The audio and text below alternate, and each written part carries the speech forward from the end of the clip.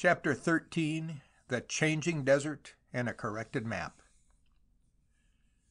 Monday, March 26. At El Harrach well of the Zieghen group. Highest temperature 27°, lowest 6°, fine and clear with northeast wind, which develops into a bad sandstorm at eleven. The storm continues until 6.30 in the evening, and the wind does not go down until two hours later. Our halt at Zieghen should have been only for a night, but the severe sandstorm kept us windbound for another day. Zieghen is merely a group of four wells, the two that we passed on Sunday, El Harrach, where we are camped, and another, Bu Zerig, twenty kilometers to the east.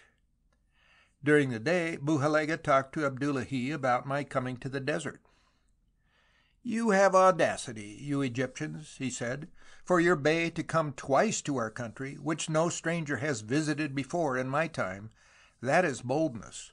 Why does he come here and leave all God's bounty back there in Egypt, if not for some secret purpose? He comes to our unknown country to measure and map it, and by God not once, but twice."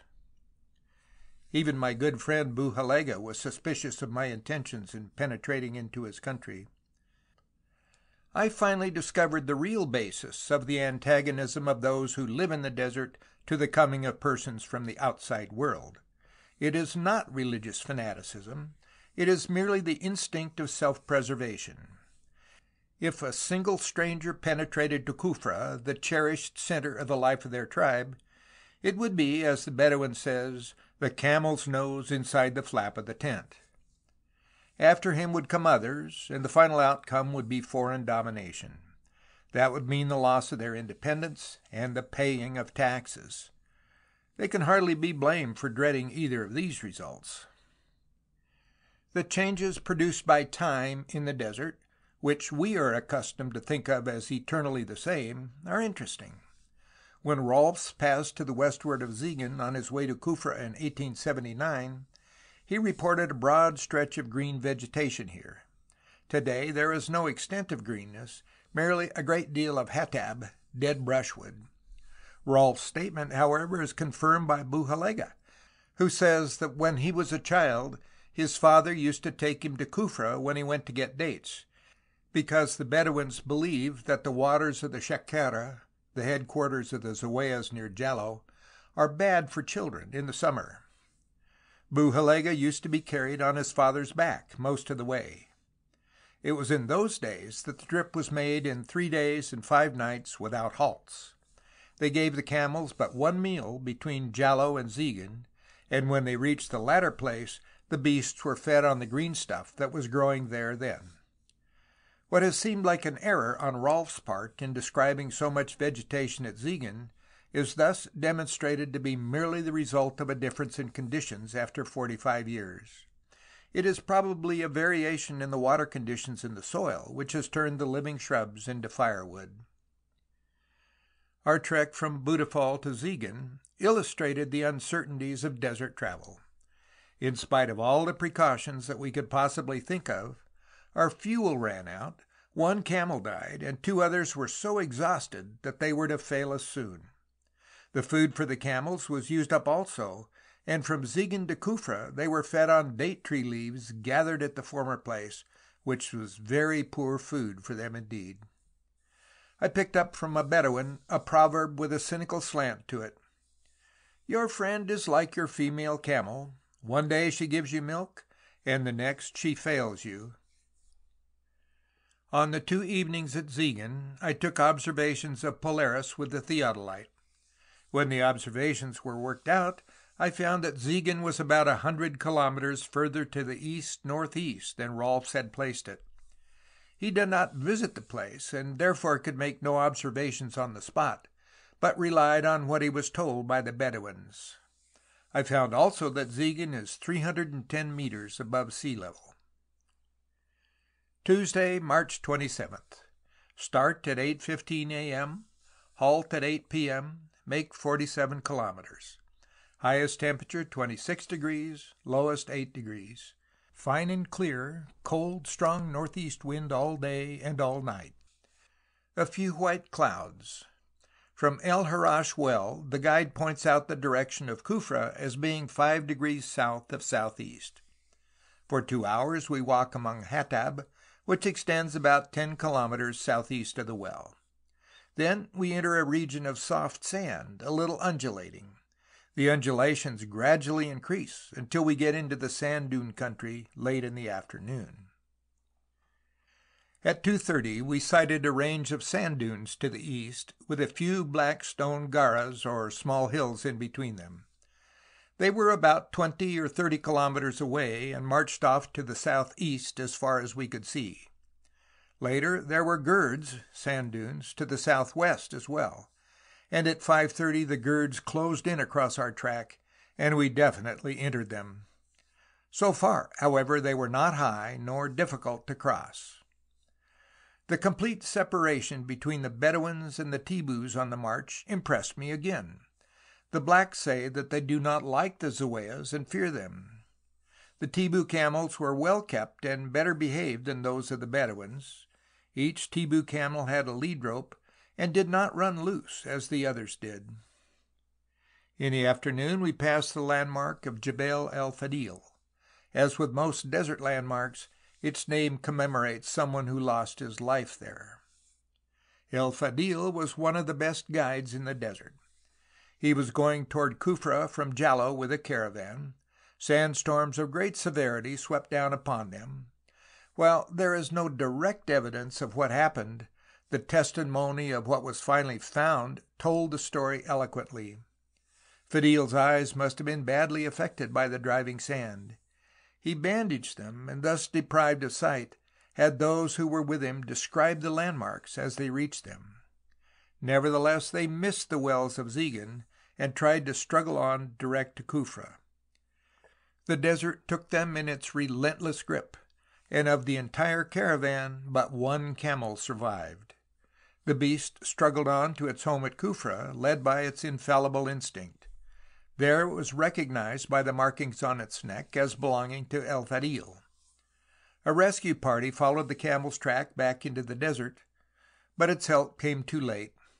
The bodies of the men lay stiff upon the sand, near the landmark now known by El Fadil's name. The bandage on the old guide's eyes revealed the tragic truth. Wednesday, March 28th. There were heavy clouds all day, with little sunshine. It was cloudy, too, in the evening. A cold northeast wind developed at 8 a.m. into a sandstorm lasting for three hours and a half. The cold wind continued on into the evening. A few drops of rain fell at 10.30 p.m. We walked among sand dunes for two hours, when we entered undulating country covered with broken black stone. It was bad going for the camels. An hour later the black stone belt ended, and we came into the sand dunes again.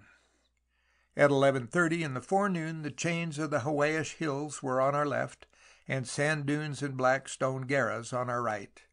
At 12.15 we passed on our left, four kilometers away, Gur al Maksan landmark, hills of black stone ranging from 50 to 150 meters in height.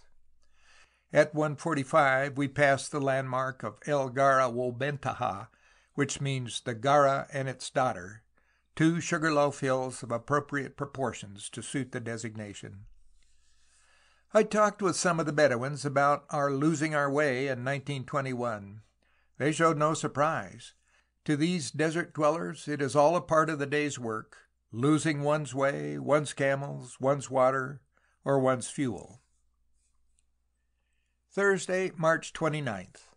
The lowest temperature this day was not recorded, as the minimum thermometer was broken in the storm. The Huayish Hills were on our left until mid-afternoon. At 11.30 we entered soft and very undulating sand dunes, difficult going for men and camels. At 1.30 we passed Garad el Sharif to the right, the biggest landmark we had yet seen. It was a ridge-shaped gara, 150 meters long and about 100 meters high, with three smaller ones beside it, two to the south and one to the north. At three we got into heavy dunes again, and two hours later passed into flat country with harder sand and patches of black stone. At 3.30 in the morning the worst sandstorm we had encountered began.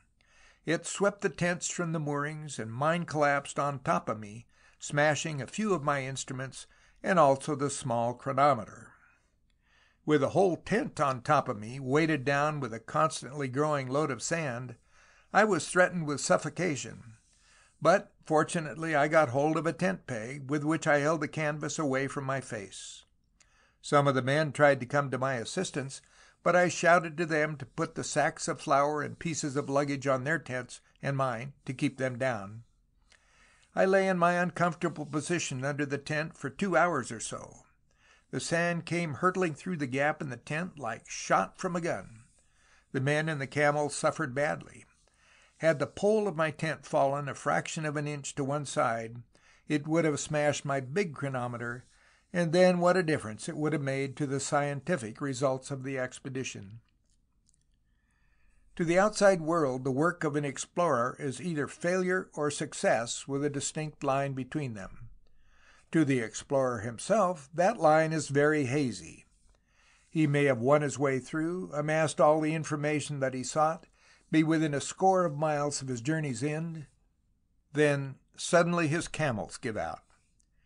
He must abandon the best part of his luggage. Water and food take precedence. The boxes containing his scientific instruments and his records have to be left behind. Maybe his plight is still worse and he must sacrifice everything, even his own life. To the outside world he would be a failure. Generous critics might even call him a glorious failure, but in any case he has failed.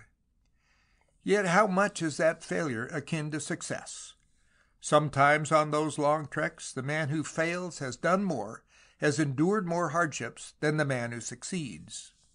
An explorer's sympathy is rather with the man who has struggled and failed than with the man who succeeds, for only the explorer knows how the man who failed fought to preserve the fruits of his work. The Bedouins understood this. There is a trait in their character that surprised, even astounded me sometimes, until I grew to understand it. There was often no hilarity, no rejoicing when the day's march came to its appointed end. Today we have arrived, but tomorrow, they seemed to say.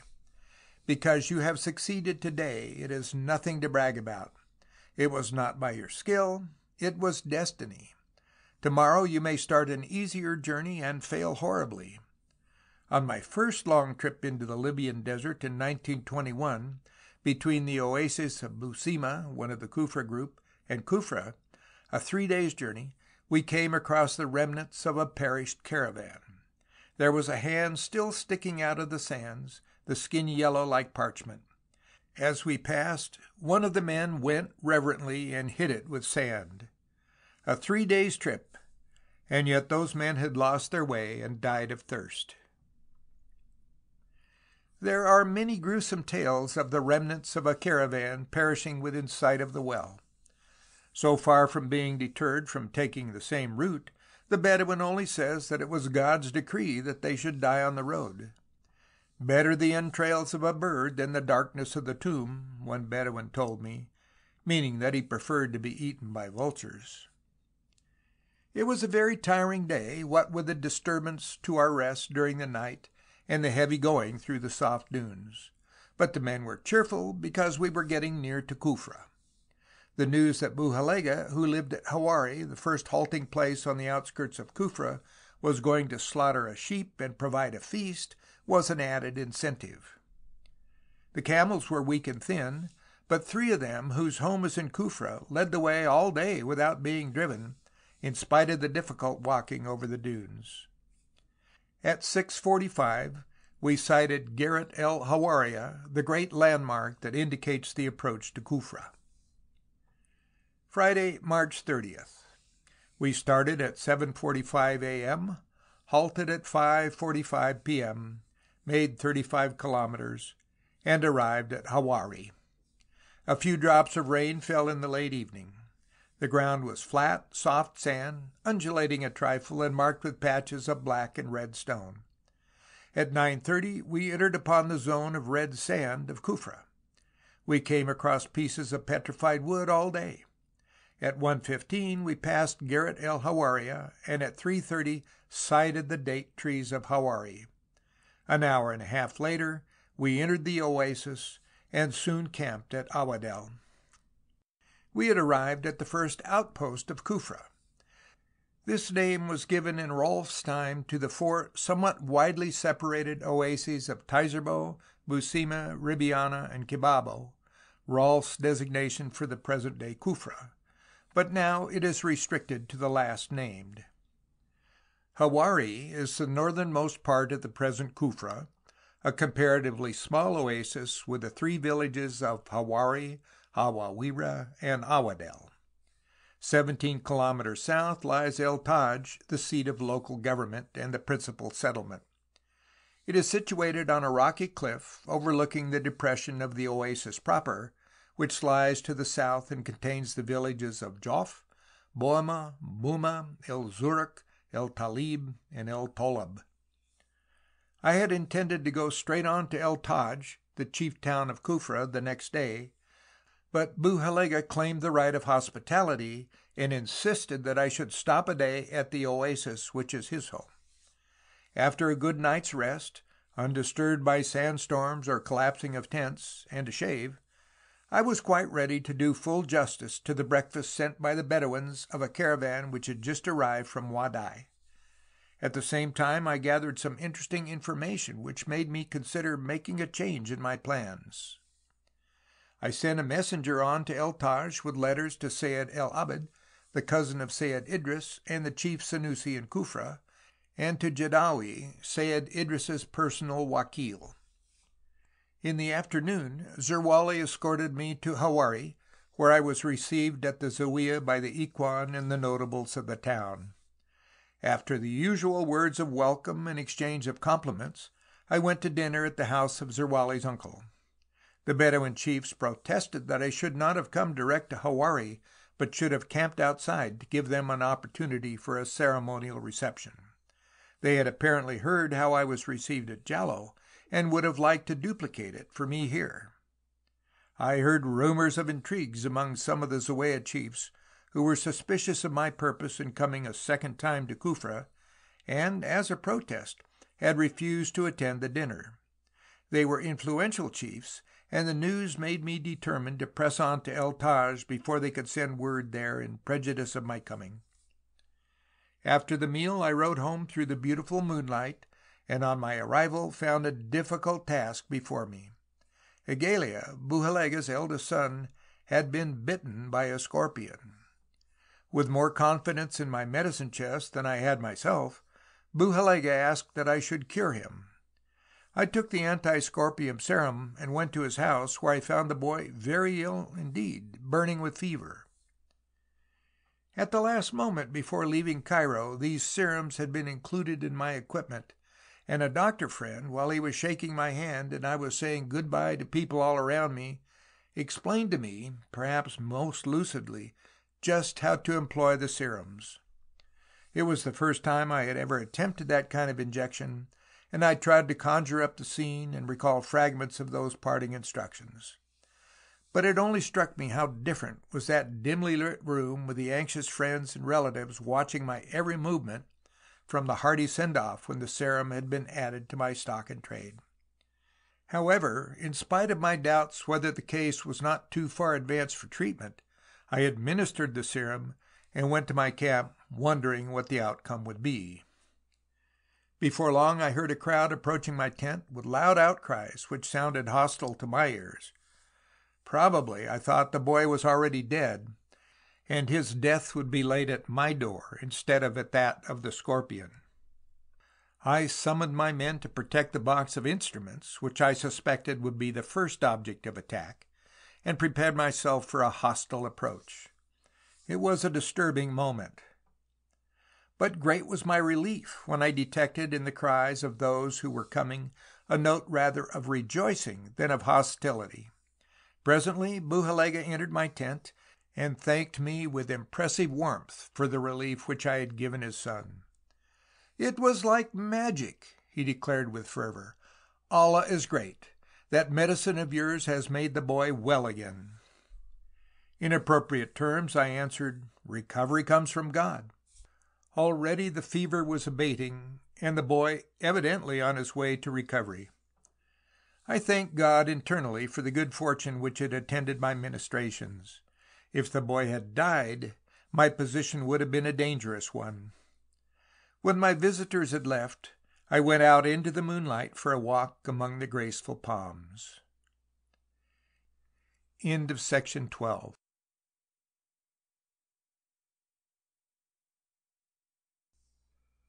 Chapter 14 Kufra Old Friends and a Change of Plan Sunday, April 1st. We started at 9.45 a.m. and halted at 2 p.m., making 17 kilometers, and arrived at El Taj. At 11.15 we entered a broken, rocky country, very rolling, covered with patches of black and red sandstone, until we reached Taj. Igalia came to help in loading the camels. He had quite recovered from his scorpion bite, and was to go with us to Taj. Breakfast was sent by Buhalega for me and my men. When I protested that he should not have taken the trouble, he retorted that I should have given him an opportunity to provide the customary three days' hospitality. A little later a slave girl came from him with a huge bowl of rice, chicken, and eggs. She was evidently dressed especially for the occasion, and was quite charming in her dainty attire of blue cloth with a red sash about her slim waist. I told her that we were starting at once and should not need the food. "You may need it on the way," she whispered shyly. "I cooked it myself." "If that is the case," I assured her, "I will accept it gladly." She was obviously pleased, and immediately went back for another bowl quite as large and inviting. I bowed to the inevitable, and sent my thanks to her master. We were given a pleasant send off by the people of Awadel and I set out at the head of my caravan on Buhalega's horse. We needed no guide just now, for I knew the way myself. "Ay, the Bey knows the way too well," said Sunusi ben Hassan. "He will soon become a guide in this country of ours." The approach to Kufra from the north has an element of surprise in it that makes it doubly interesting. We marched through a gently rolling country with an irregular ridge of no great height forming the horizon ahead of us. Suddenly the top of the ridge resolved itself into the outlines of a group of buildings, their walls hard to distinguish at any distance from the rocks and sands they matched so well in color and in form. This was El Taj, the headquarters of the Sanusi family in Kufra. As we entered the town, we saw that the ground dropped abruptly away beyond it, down to the valley of Kufra. This pleasant valley is a shallow, roughly shaped oval bowl, 40 kilometers in extent on its long diameter and 20 kilometers on the short one. It is dotted with palm trees, and across it in an irregular line from northeast to southwest are strung the six settlements of Boema, Buma, Jaf, Zurich, Talalib, and Tolab. Close to Jaf lie the blue, shimmering waters of a fair sized lake. At this midpoint in the sand waste of the desert this expanse of water is both a boon and an aggravation. The mere sight of so much water brings refreshment to the eyes weary of looking at nothing but sand, but to the parched throat it is worse than a mirage to the vision, for its waters are salt. On our entry into Taj I was met cordially by old friends. Sayed el Abid, the cousin of Sayed Idris and the chief Sanusi in Kufra, was ill with rheumatism, but Sidi Salah el Baskari, the Kaimakam, Sidi Mahmud el Jadawi, Sayed Idris's wakil, and several Ikhwan brought words of welcome from him and conducted me to the house of Sayed Idris, where I was to stay. It was here that we had lived on the first trip to Kufra, two years before, and immediately I felt at home. "You will have to initiate your men into the ways of Kufra," said El Baskari whimsically. "Even Zerwali has not been here for thirteen years." At once the hospitality began, with coffee brought by the commandant of the troops. I had just time for a short rest before a slave came to take me to the house of Sayed el Abid for a meal. Led by the same messenger that came for us two years ago, I walked through the same streets and entered the same wonderful house of the Senussi leader with a curious feeling as though time had stood still or gone back. El Abid's house is a labyrinth of corridors, lined with doors behind which live the members of the family and his retainers. We passed into the familiar room whose spaces seem more richly adorned than ever with gorgeous rugs, many colored cushions, and stiffly embroidered brocades. On the walls hang the well remembered collection of clocks, barometers, and thermometers in which my host takes naive delight. The clocks, of which there are at least a dozen of assorted shapes and sizes, were all going strong. Sidi Saleh came to bear me company and to apologize for the enforced absence of my host, Sayed El Abid. There was set before me a feast fit for the gods, or for mortals fresh from the monotonous living of the desert.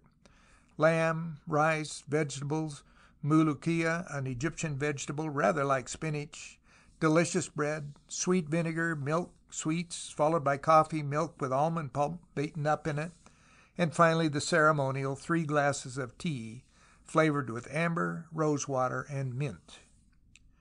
When the meal was over and I had returned to my house, I had barely time to see about the disposition of my baggage and discuss the question of camels for the next stage of the journey when the slave came to conduct me again to El Abid's house for dinner. El Baskari was again my host, a dignified, kindly figure in a beautiful gibbah of yellow and gold, having changed the classical soft Bedouin tarbush which he had been wearing for a white silk kufia and a green and gold igal. When the second meal had reached the point of scented tea and incense, suddenly the clocks began to strike, each with its own particular tone, the Arabic hour of three, which then meant nine by the standard of the outside world. I closed my eyes for a moment and felt myself back in Oxford, with the hours striking in endless variety of tones from all the church towers of the university town. I went out into the moonlight, with the fragrance of the rose water and the incense lingering about me. I stood on the edge of the ridge, overlooking the waters of the lake, and reflected on my former visit to Kufra when this was my goal. Now it was the beginning of the most interesting part of my journey. I heard the voices of ikhwan and students reading the Hesp in the evening quiet. Abdullahi slipped out of the shadows and stood beside me. This is the night of half Shaban, meaning the middle of the month before Ramadan, he said in a low tone as a man who thinks aloud. God will grant the wishes of one who prays tonight. For several minutes we two stood there silently, my face was toward the southeast, where lay an untrodden track and oases that are lost, but Abdullahi turned to the northeast, where lies Egypt and his family and children. I did not need to ask him for what he prayed. Monday, April 2nd. At Hawari I had been told by the Bedouin caravan from Wadai that a French patrol had come north as far as the well at Sara over the main trade route from Wadai to Kufra. This was the route I had intended at first to follow, but it seemed that only the small portion of it which lay between Sara and Kufra remained unexplored. Again, I had heard vague stories of the lost oases on the direct route south which I had planned some time to explore, although I knew that this direct route to Darfur in the Sudan was practically never used either by Bedouins or by Sudanese because of its supposed difficulties and dangers. The story of the French patrol turned my mind again to these oases, and I determined to try and find them rather than to follow my original plan. I set out, deciding to do all that was possible to explore these lost oases, but, failing that, I was to cross the Libyan desert by the beaten road through Wajunga and Wadai, and then turn eastward toward Darfur. Zerwali and Suleiman Bu Matari, a rich Zawiya merchant, came to discuss the trip southward. Bu-Matari had discouraging counsel to offer as to the route I had now decided to take. Eight years ago, he said, the last caravan to go that way, of which my brother Mohammed was the leader, was eaten up and slaughtered on the frontier of Darfur. They went, not as you wish to go, but by the easier route from Uinat to Merenga, a small oasis about 290 kilometers south of Uinat. This journey you propose to make is through territory where no Bedouin has passed before.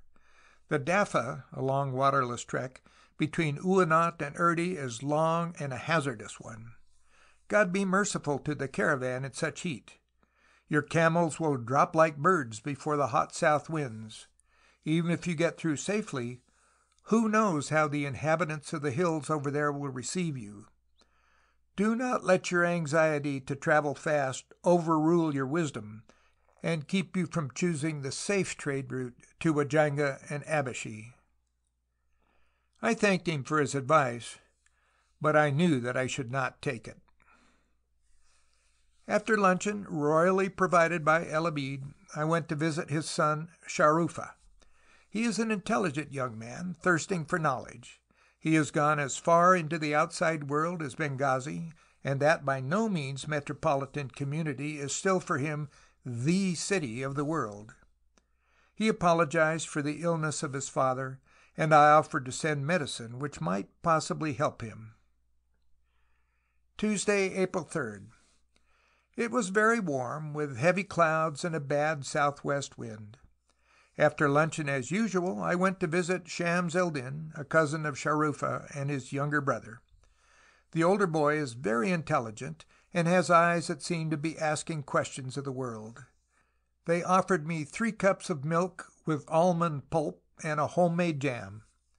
I knew that to refuse such an offer is to offend, so I left the house in a state of torpor. Dinner later at Sayed el Abid's did not improve matters internally. Again I discussed the plan of going by way of Arkanu and Uinat. I was more determined than ever. We would see what Buhalega had to say when he arrived from Hawari. Wednesday, April 4. I was awakened by Jedui, who as usual brought me a pot of fragrant tea. This is comparative civilization, I thought, as I saw Ahmed preparing my shaving kit. There are, of course, times when one welcomes the conveniences and comforts of civilization, but having trekked so far, one feels more at home when on the move than when resting in an oasis. The early part of the day was spent in cutting down most of the wooden boxes and rearranging the luggage in preparation for the long trip south. It required particular care, since from now onward there would be no chance of changing the camels until our arrival at El Fasher in the Sudan, about 950 miles. The question of providing new shoes for the men of my caravan had to be attended to, as the Bedouin shoes that were made for them at Jalo had been worn out. Before lunch I had a visit from a few Zawaya chiefs, who came officially to pay their respects and also unofficially to satisfy their curiosity and suspicion as to the size of my caravan and the equipment I was carrying, and if possible to find out what plans I had made for my journey to the Sudan. Lunch, as usual, at Sayed el Abid's. I had the cheerful news that the medicine I gave him had a good effect. The afternoon I spent in attending to the question of arms and ammunition. Later I took a long walk in order to make the compass observations of the vicinity of Taj. Thursday, April 5th. Zerwali had a long talk with Buhalega, who arrived in the night from Hawari. The latter refused point blank to go to El Fasher by the Uinat route. Buhalega came to visit me and tried to persuade me to go by way of Wadai. When he saw that his advice would probably not be taken, he became desperate.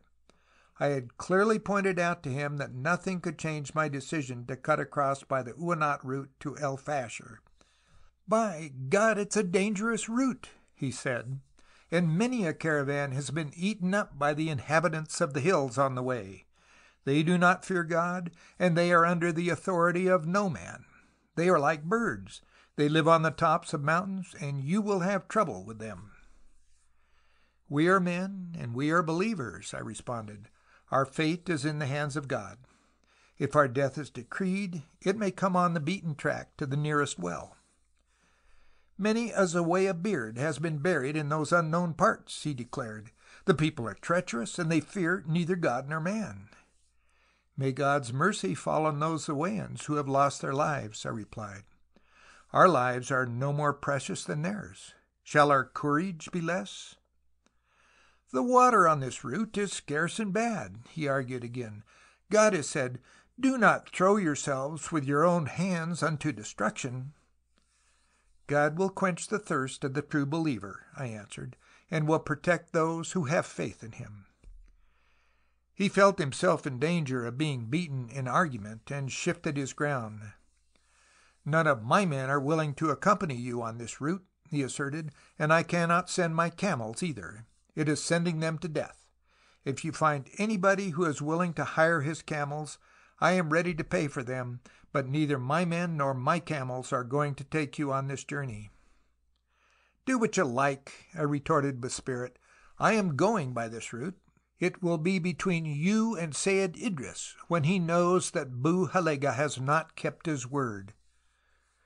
There the argument rested. I had already learned that the few owners of camels at Kufra had been urged by Bou Halega and his men not to help me in my new plan. He hoped by so doing to force me to accept his plan of the safe route through Wadai.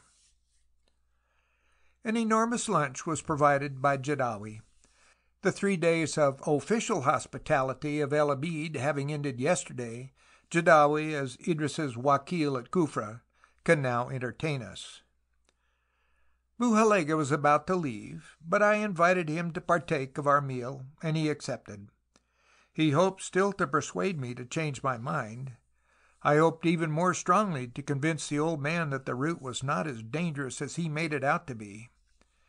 After the third glass of tea we parted, neither of us having succeeded in convincing the other, but I felt that my last words had an effect on him. In the afternoon the slave came to tell me that his master, Sayed El Abid, would like to see me. I had already intimated that he need not be in a hurry to give me an audience, as I knew he was suffering badly from his gout, and it was very difficult for him to come down to the reception room but he was not willing to have me think that he had violated the rules of hospitality by delaying the audience, and so he very kindly allowed me to see him in spite of his suffering.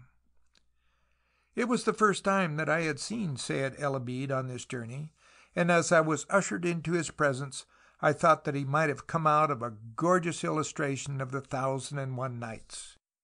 He was dressed in a yellow silk kuftan embroidered with red braid, a rich white silk burnous carefully hung on his shoulders. On his head he wore a white turban with snow white gauze flowing from the sides. This is the classical headgear of the chiefs of the Senussi family. He carried in his hand a heavy ebony stick with a massive silver head. He was a picture of simple and benign dignity, and no one would have suspected him of being the redoubtable warrior that he really is. He was sitting on a big upholstered armchair, and as I entered he tried to get up. I hastened to him, grasping his hand, and begged him not to make an effort to rise. He was suffering badly from his gout, and the conversation started easily on the subject of his ailment. He has been suffering for many years. At times at night, he said, when the pain is at its worst, I pray to God that he may shorten the number of my days in this world, for I cannot even perform my prayers as I should. We then discussed the question of my trip to the Sudan, and he too, I found, had been prevailed upon to urge me to take the safer route through Wadai. I pointed out to him that Sayed Idris was now in Egypt, and that I had to hasten to my country to try to repay a little of the hospitality that had been lavished upon me by the Senussis. It was fortunate that the route to the Sudan through Uinat is known to be shorter than that through Wadai. You are a dear friend of ours, he said, and the Sayed, I am sure, would rather have you arrive in Egypt late and safe than to hear that any harm had befallen you. Our fates are in the hands of God, I replied. Our efforts are decreed by Him, and I carry with me the blessing of the Senussi masters. I spoke with an air of determination. Sayed El Abid was pensive for a few moments.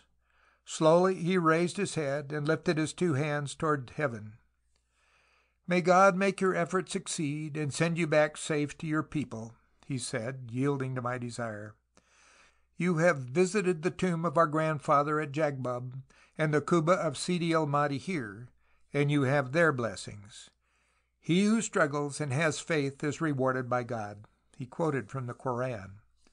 We then read the Fatha, and he gave me his blessing, and again prayed that God might guide our steps and give me and my men fortitude. I felt very happy as I wound my way through this multitude of corridors and courtyards. I was relieved to know that I had an ally in Sayed el Abid, and that he would not prove an obstacle in my new plan of going to the Sudan by way of Uinat. All the men of my caravan were there when I entered the house. One look at their faces told me with what suppressed excitement they had been waiting since my departure to Sayed el Abid to hear his verdict on the journey south. Slowly I made my way to my room and asked them to come in. I too had to suppress my excitement, but mine was the excitement of success and not of expectation. There was a long pause before I could control my voice and make it as indifferent as it should be. The Sayed has blessed our journey to Uinat and has given me the Fatha for it. I dared not even look in the men's faces. We have the blessings of the Senussi masters with us, Sayed El Abid has assured me, and God will give us fortitude and success, and guidance comes from him. End of section 13.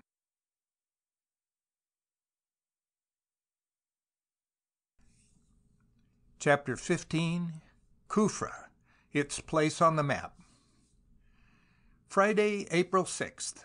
The day began with the arrival of an immense bowl of roses, gloriously fragrant, sent by Sayed el Abid. This is the way the desert belies its name every now and then. I defy the Riviera to produce anything finer than these, or more fragrant. It was Friday, the Moslem Sabbath, and I attended prayers at the mosque. The young Senussi princes were expected, and some of the Bedouins came in their best clothes, but side by side with the richest of silk kuftans were the shabbiest jerds. Everyone took off his slippers as they came in. I watched them for a while. There came a prosperous Zawaya or Majbari merchant with a crease still fresh in rich robes just removed from the chest, and kohl in his eyes, put in with a madwid, a kohl stick, of ivory or brass. The prosperous man maybe has everything upon him new, and he smells strongly of scent, perhaps pure rose water distilled in Kufra, or else musk or other strong perfume from the Sudan. He enters in a dignified way and takes his place. There comes another, and his jerd is tattered and his face is bronzed and withered, not flabby, but he is no less dignified.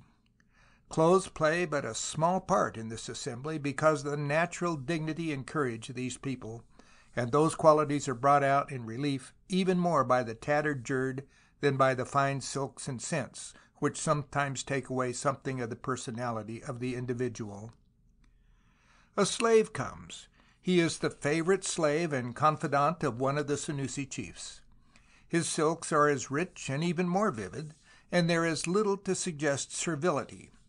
He feels his importance and walks with equally dignified grace through the ranks of the worshippers to take his place, maybe next to a dignitary, maybe next to a beggar.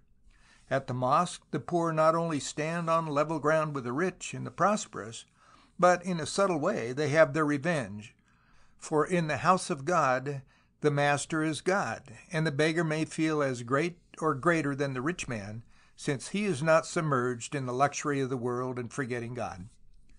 The old and shabby jerd is, to the Bedouin going into the mosque, as fit a garment for worship as silken brocades are proper raiment for a man going to see the Senussi chiefs.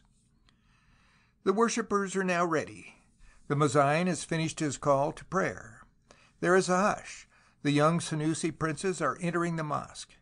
They take their places that have been reserved for them. All eyes turn toward them, and on account of their youth they look a little shy and embarrassed. No one rises as they enter, for this is the house of God, wherein God alone is the master. Then the imam mounts the pulpit and delivers his sermon. On the few occasions that I have been able to attend Friday prayers in an oasis mosque, the theme of the sermon has often been the same, advising the congregation to shun the world and its luxury, and to prepare for a life of happiness in the next world by doing good. Beware the ornaments and the luxuries of this world, for they are very enticing. Once you fall a victim to them, you lose your soul and stray farther from God.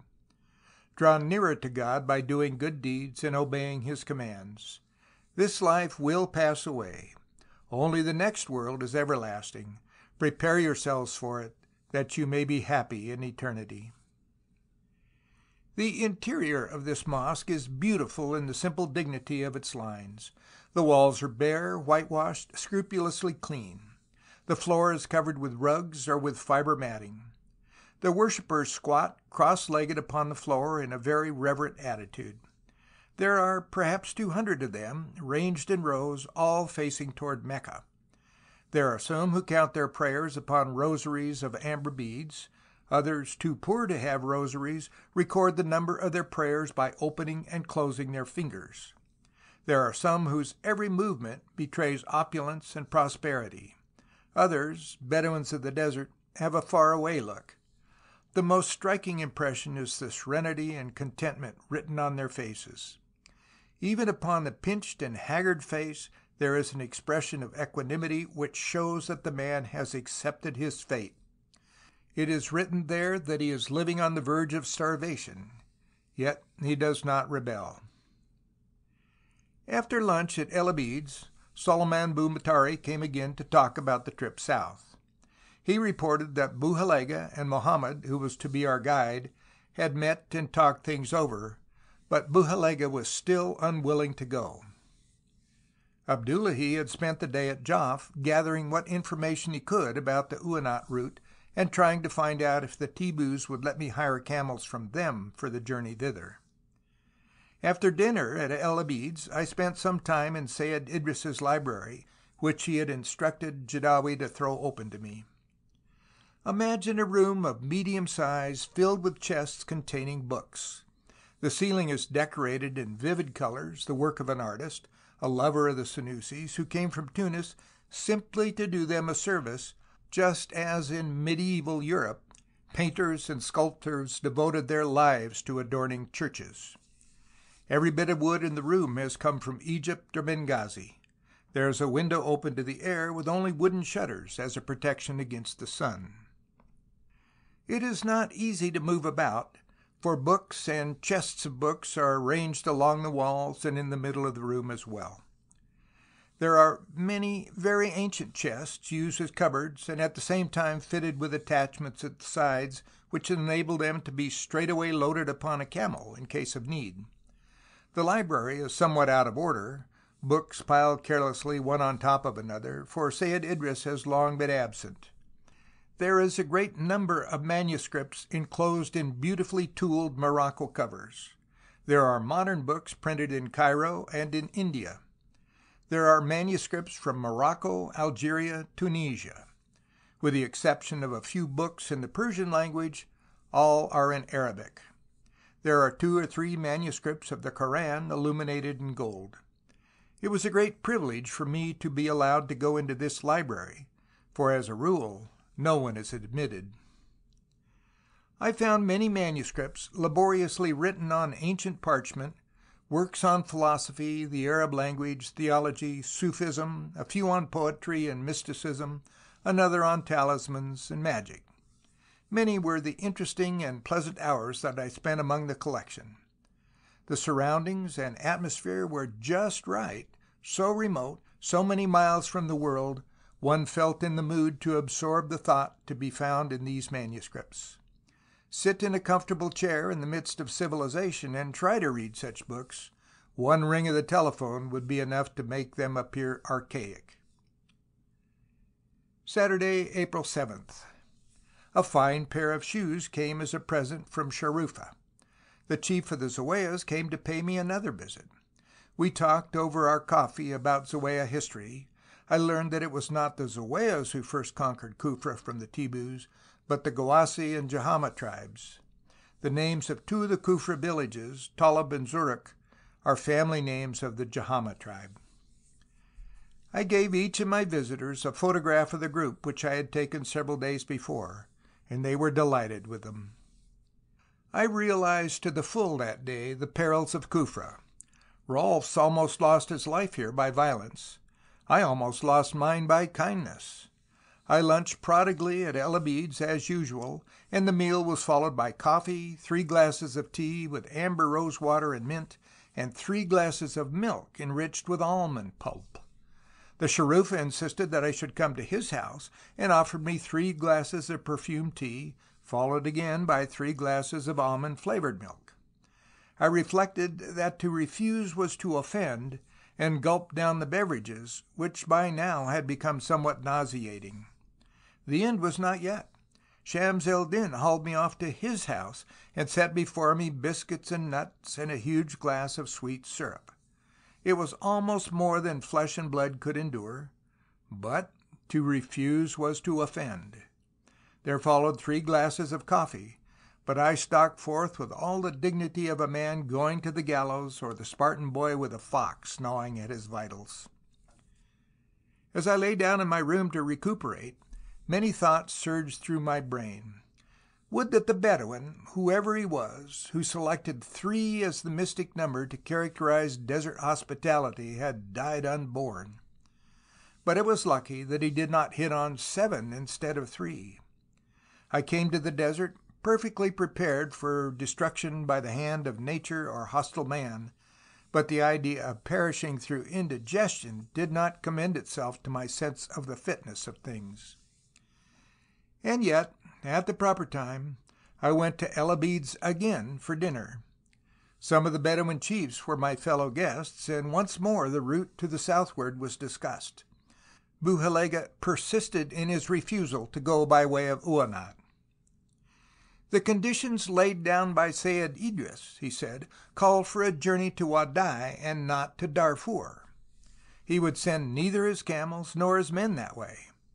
I argued like a lawyer that since he had contracted to provide thirty five marhalas, or days' journeys, from Kufra southward, it should make no difference to him whether I used those marhalas to go to Wadai or to El Fasher or back to Egypt.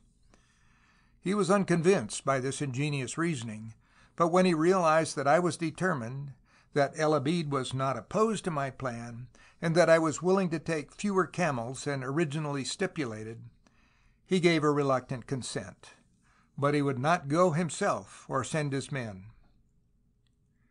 Sunday, April 8th. The affair of Buhalega's horse came to a head. I bought him for thirty three pounds. He was sturdy and a splendid traveller, needing to drink only every second day. After luncheon I took El Abid's photograph and had a long talk with him about his malady, which he bore with true Bedouin fortitude, about conditions in Cyrenaica and Egypt, and about my plans for the trip to the Sudan. I had had bad luck with my scientific work at Kufra. I did not find it easy to escape surveillance and move about unattended, or to use my instruments without arousing suspicion. What was worse, it had been cloudy every day since I arrived there, and I had been unable to take observations of the sun or Polaris with the theodolite. After dinner I was thoroughly tired. I had used up all the indigestion tablets which I brought with me. I felt that it would be a relief to get back to the simplicity of the open desert again. Monday, April 9th, was still cloudy, but a cool breeze was blowing. I spent a quiet day, reading in Idris's library, developing a few films, and buying gurbas and barley for the journey. Sayed El Abid gave me copies, written with his own hand, of letters by El Mahdi to various Ikhwan. He made me presents of a Moorish knife in a silver scabbard and a flintlock pistol, also beautifully inlaid. Tuesday, April 10th. The clouds cleared away in the afternoon and I took photographs of the valley.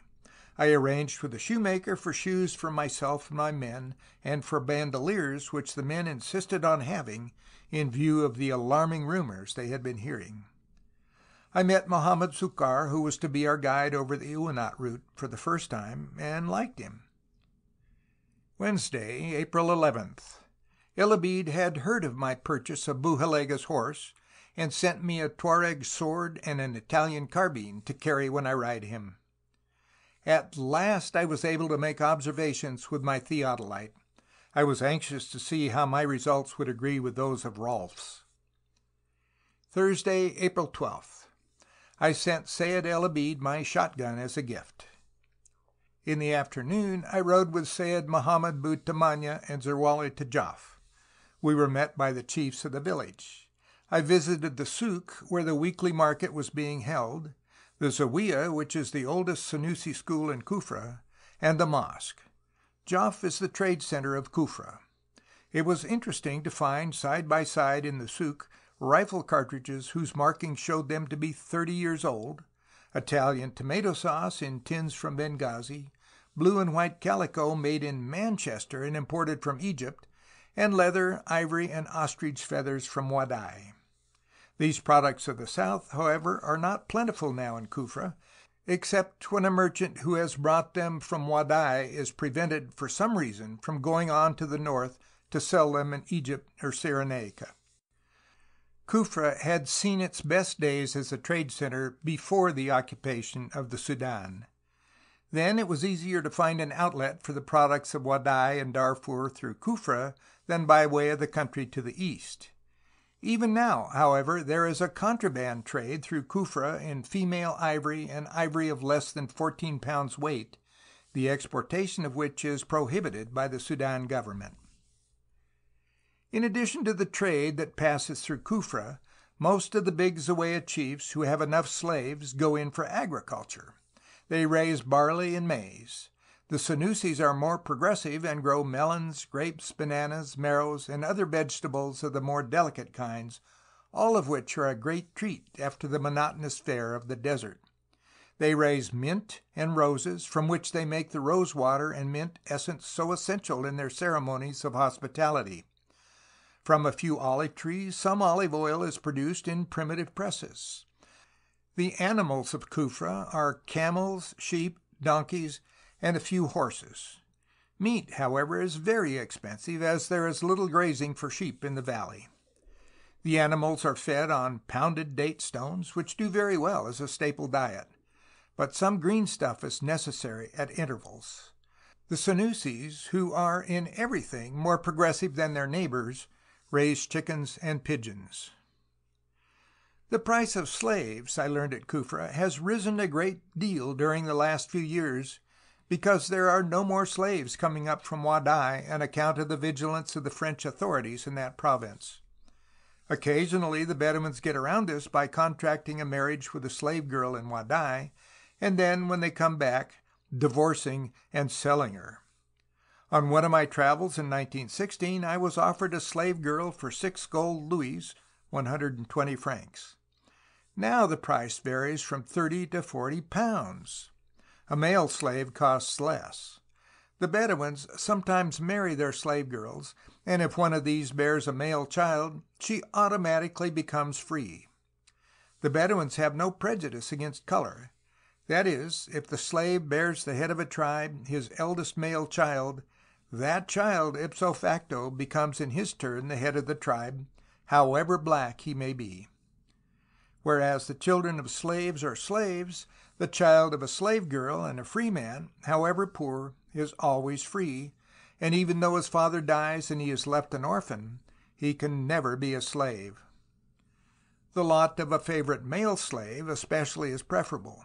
They have more power and are taken more into the confidence of their masters than free men. They are very well treated and become members of the family. They are well dressed, for an ill-dressed slave reflects badly on his master, just as a shabby footman would detract from the glory of a millionaire's Rolls Royce. The favorite slave of Sayed Idris, Ali Khaja, is not only the most trusted man of Sayed Idris, but he has more power and authority among the Bedouins themselves than many a free man. Such a slave is treated as a confidant. If the slave of Sayed el Abid came to me with a message, I took it to be absolutely true, knowing that it is his duty to report exactly what he is told. In the same way, if I wished something to reach the ears of Sayed el Abid, and only his ears, I knew that I could tell it without a moment's hesitation to his slave, and be perfectly confident that it would not go anywhere else. A man slave is permitted to buy a slave girl. Once when I asked Ali Khaja about the price of slaves, he complained, "They are very expensive nowadays. The other day I bought one, and she cost me forty pounds in gold sovereigns." He said it with such an air that he might never have been a slave himself. The shabbiest slave that you see in an oasis is generally the freed slave, who, curiously enough, is looked down upon by the other owned slaves, and himself feels ashamed that he is a freed slave and belongs to no one. There are many date trees all through the Kufra valley, and many of them belong to the Senussis. When the Zuwayas invited Sidi Ibn Ali el Senussi to come to Kufra, each one of them gave the Senussis one third of his property, land, and date trees. The proportion of two to one between the date trees owned by the Zuwayas and those of the Senussis has, however, in the years since then, been considerably altered in favor of the Zuwayas. These regular inhabitants of the valley naturally planted new trees faster, and thus increased their own holdings. One can still see in the valley the walls separating the Senussi lands from those of the Zuwayas. On our way back from Joff we met a wedding party. The officer commanding the troops at Kufra was being married, and the father of the bride invited me to empty gunpowder in honor of the occasion. I was glad to pay a compliment to the officer, who was an old friend of mine, and when they fired their guns in salute, in good Bedouin style, I rode my horse at a gallop up to the party, pulled him to a sudden halt in front of the bride, and fired my gun into the ground before her. It was astonishing how Baraka, the moment he heard the sound of the guns, took to a gallop and brought me at a rush within the prescribed distance for firing. It was all a part of his training. Friday, April 13th. A slave of Sayed Idris came to be treated for an illness which had lasted for two months. It seemed to be a digestive upset, with continual vomiting. I gave him ether on a piece of sugar, milk, and rice, and by evening he was better. Buhalega arrived from Hawari with seventeen camels. I told him to complete the twenty-five we had agreed upon. I received a visit from the bridegroom and his father-in-law, who came to thank me for the compliment I paid to the wedding procession. Saturday, April 14th. Buhalega brought the rest of the camels. He was in a dilemma about sending a man with us. He did not wish to send his son or even a slave on such a hazardous journey which none of us might get through alive. On the other hand, there was the off chance that fate might be good to us and let us escape. In that case, remote though it seemed to him, if he had no representative with us, how should he get his camels back, or rather their value? For it would be the natural thing to sell them at the end of the trip. The afternoon was spent in packing and the evening in making observations. The weather was now more gracious. This was only the third night since reaching the spot that I had been able to see Polaris. I determined that I would not leave Kufra until I had made at least twice as many observations on different nights. Sunday, April 15th. The morning was spent in loading. Buhalega was still in a quandary about sending a man with us, but since I had the camels it did not make any particular difference to me what he decided. The slave whom I had been treating was astonishingly improved in health. He came to thank me, no one was more surprised than I at what I had been able to do for him.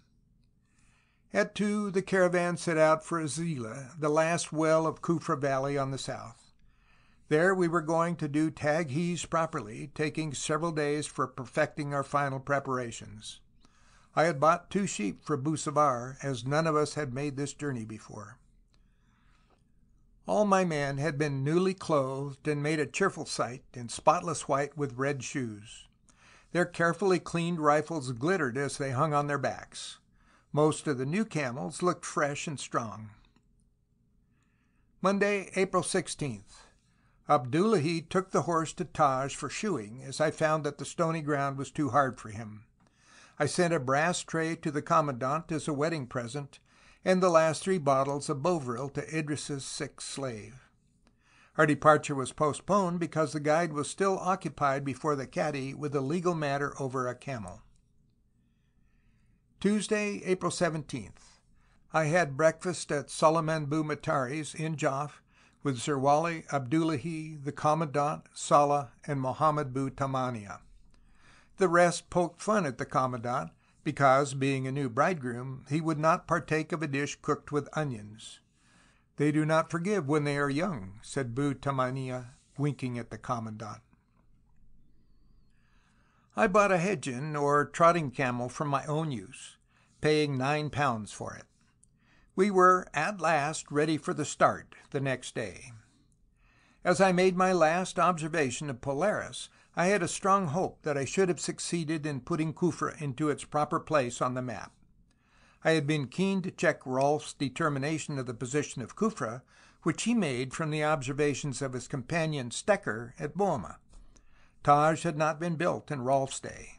When I made my first observation at Taj, I discovered that they were not in agreement with the result of Stecker's observations at Boima, which is two kilometers from Taj in a direction 54 degrees east of true south. I thereupon determined that I would not leave Kufra until I had secured a sufficient number of observations to preclude the possibility of any appreciable error. Polaris was observed with the theodolite by me on six different nights under conditions which Dr. Ball, in his scholarly paper on my work published at the end of this volume, declares to leave no room for an error greater than a single minute of latitude or longitude. The net result of my observations, when they were finally reduced after my return to Egypt, was that Kufra is some 40 kilometers south southeast of the position assigned to it by Rolfs from Stecker's observations. I found the altitude of Kufra to be almost precisely the same as that ascertained by Rolfs, 400 meters for Boima on the floor of the valley and 475 meters for Taj on the valley's ridge. End of section 14.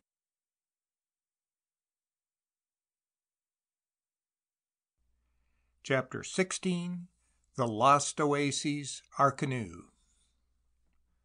Wednesday, April 18th. Buhalega had at last found two men, Bukhara and Hamid, who would go with his camels. They were poor men, and the money they would make loomed larger in their eyes than the danger. Sayed el Abid sent three representatives to see us off. They brought a letter of farewell from him that touched my heart. Buhalega came to say good bye. At the final moment there were tears in his eyes, and I do not think they were caused by fears for his camels or for the men whom he was sending with us.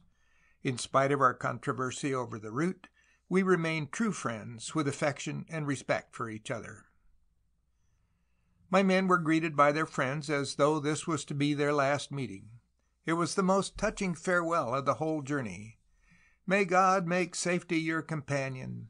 What is decreed is decreed, and that will happen. May God guide you to the true road and protect you from evil. There was little about this parting of that sense of assurance which attends both those who go and those who stay behind when it is a case of starting for a holiday with some certitude of safe arrival. There were a few quivers in the last phrases of farewell, and knowing what had passed in the preceding days and the intimidation to which the men had been subjected, I could guess what was in their minds. Whereas I was excited by the thoughts of the lost oases and taking the unexplored road and going into the unknown, they were thinking that this might be the last time they would shake hands with their friends. There was even a pitying look on the faces of some of those who came to bid us Godspeed as to doomed men, Yet being Bedouins they also felt, it is decreed that they should go thus. We recited the Fatiha, the first chapter of the Koran. Praise be to God, the Master of the universe, the merciful, the compassionate, the Lord of the day of resurrection. It is you whom we worship, and it is you whom we ask for help. Guide us to the straight path, the path of those whom you have rewarded, not those upon whom displeasure has fallen, nor those who have gone astray. Amen. There followed the call to prayers. God is great, and I testify that there is no God but God, and that Mohammed is the prophet of God. Haste to prayers, haste to that which is beneficent. Prayers are ready. God is great. There is no God but God. It was upon the edge of the valley of Kufra, where the oasis ends and the desert stretches out ahead.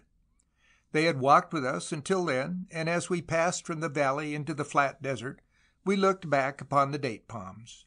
The sun was setting, dusk falling, and Kufra itself in the waning light was glimpsed as though through the aperture of a camera. Those who had come to say farewell straightway returned and looked back no more. I was eager to get away from Kufra and let my men turn their minds to the task ahead. At last the real start had been made. Before me all was unknown, full of mystery and the fascination that lie in those parts of the earth's surface yet untraversed by men from the outside world. We started at 4:30 p.m. and halted at 8:15, making 15 kilometers. It was fine and clear, with no wind. Hard sand covered with very fine gravel, slightly undulating. After leaving the date trees of Azila and Kufra, we crossed a zone of hatabs similar to that at Zieghen, and entered the Serira at 5.45. At 6.30 we passed hillocks which form the south side of the valley of Kufra. At 8.15 we arrived at Hadiat el Hoosh, marked by dry hatab, which must once have been green. We left two men behind to bring us two loads that were to be carried on Tibu camels. Our caravan comprised twenty seven camels and nineteen persons. Myself, Zerwali, Abdullahi, Ahmad, Hamad, Ismail, Sunusi Bu Hassan, Sunusi Bu Jaber, Hamad Zawai, Saad the Ajuli, Faraj the slave, Bukhara and his young brother Hamid, the camel man Hassan, Mohammed our guide, and three Tibus. An entry from my diary again. Thursday, April 19th. Start at 1.45 p.m. Halt at 7.15 p.m. Make 24 kilometers. Highest temperature 32 degrees, lowest 11. Fair and clear with a few white clouds. Southeast breeze which drops at midday. After leaving Hatiat el Hoosh, we enter the Serira again, a flat expanse of hard sand covered with fine gravel. East of the Hatia is a chain of sand hillocks covered with dark brown stones. To the west is another similar chain about four kilometers away. At 2.15 we pass the end of the Hatia el Hoosh. The Hatia is about two kilometers broad. At 3.45 there is a Gara on our left about two kilometers away, and at 5 another Gara four kilometers distant on our right. At 6.30 the sand is softer, with patches of red and black stones. The surface is undulating. We were delayed in starting through waiting for the two camels which had been left behind, and used the time in collecting hatab. It was very warm, and the camels grew tired quickly because of the heat. The country was similar to that between Boutafal and Zieghen. With my new Hadjan I found it easy to fall behind to take observations without exciting suspicion. We had to camp early because of the condition of the camels. Friday, April 20th.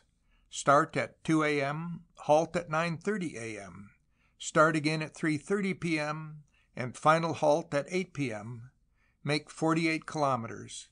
Highest temperature 32 degrees, lowest 10 degrees at 12.30 a.m. Fine and clear with cold southeast wind in the early morning. It drops at midday and gets up again at 4. In the evening it shifts to the northeast. At 4 a.m., passing through undulating country strewn with stone. At 6, enter Serira again, flatter. Sunrise is at 5.30. Immediately thereafter, on our right and left are low sandhills from 8 to 10 kilometers distance. See a swallow in the morning and a hawk in the afternoon. At 4.20 crossed low sand dunes and sight a black Gara, a long low mound 10 degrees south of southeast. This was the worst part of the journey for traveling, so far as temperature conditions were concerned. In the middle of the day it was too hot to march, and at night it was too cold. So we broke the trek into two parts, starting soon after midnight and resting in the heat of the day. We had trouble with the baggage because of the difficulty of good packing and loading in the dark. The camels, however, went better on this day. This was the fourth day of the lunar month. The Bedouins observe the weather conditions on that day, believing that the weather for the rest of the month will be the same. It was to prove true in this case. Saturday, April 21. We started at 2.30 a.m. At six in the morning we came across stony and hilly country which lasted for twelve kilometers. We passed on our left the gara called Geret Kudi. At nine we entered again into Sarira, with distant sand dunes on the right and left. One camel fell ill shortly after our start and refused to go even when its load was taken off. Two Bedouins were left behind to bleed it, but all efforts at cure were in vain, and it had to be slaughtered. I forbade the Bedouins to eat its flesh.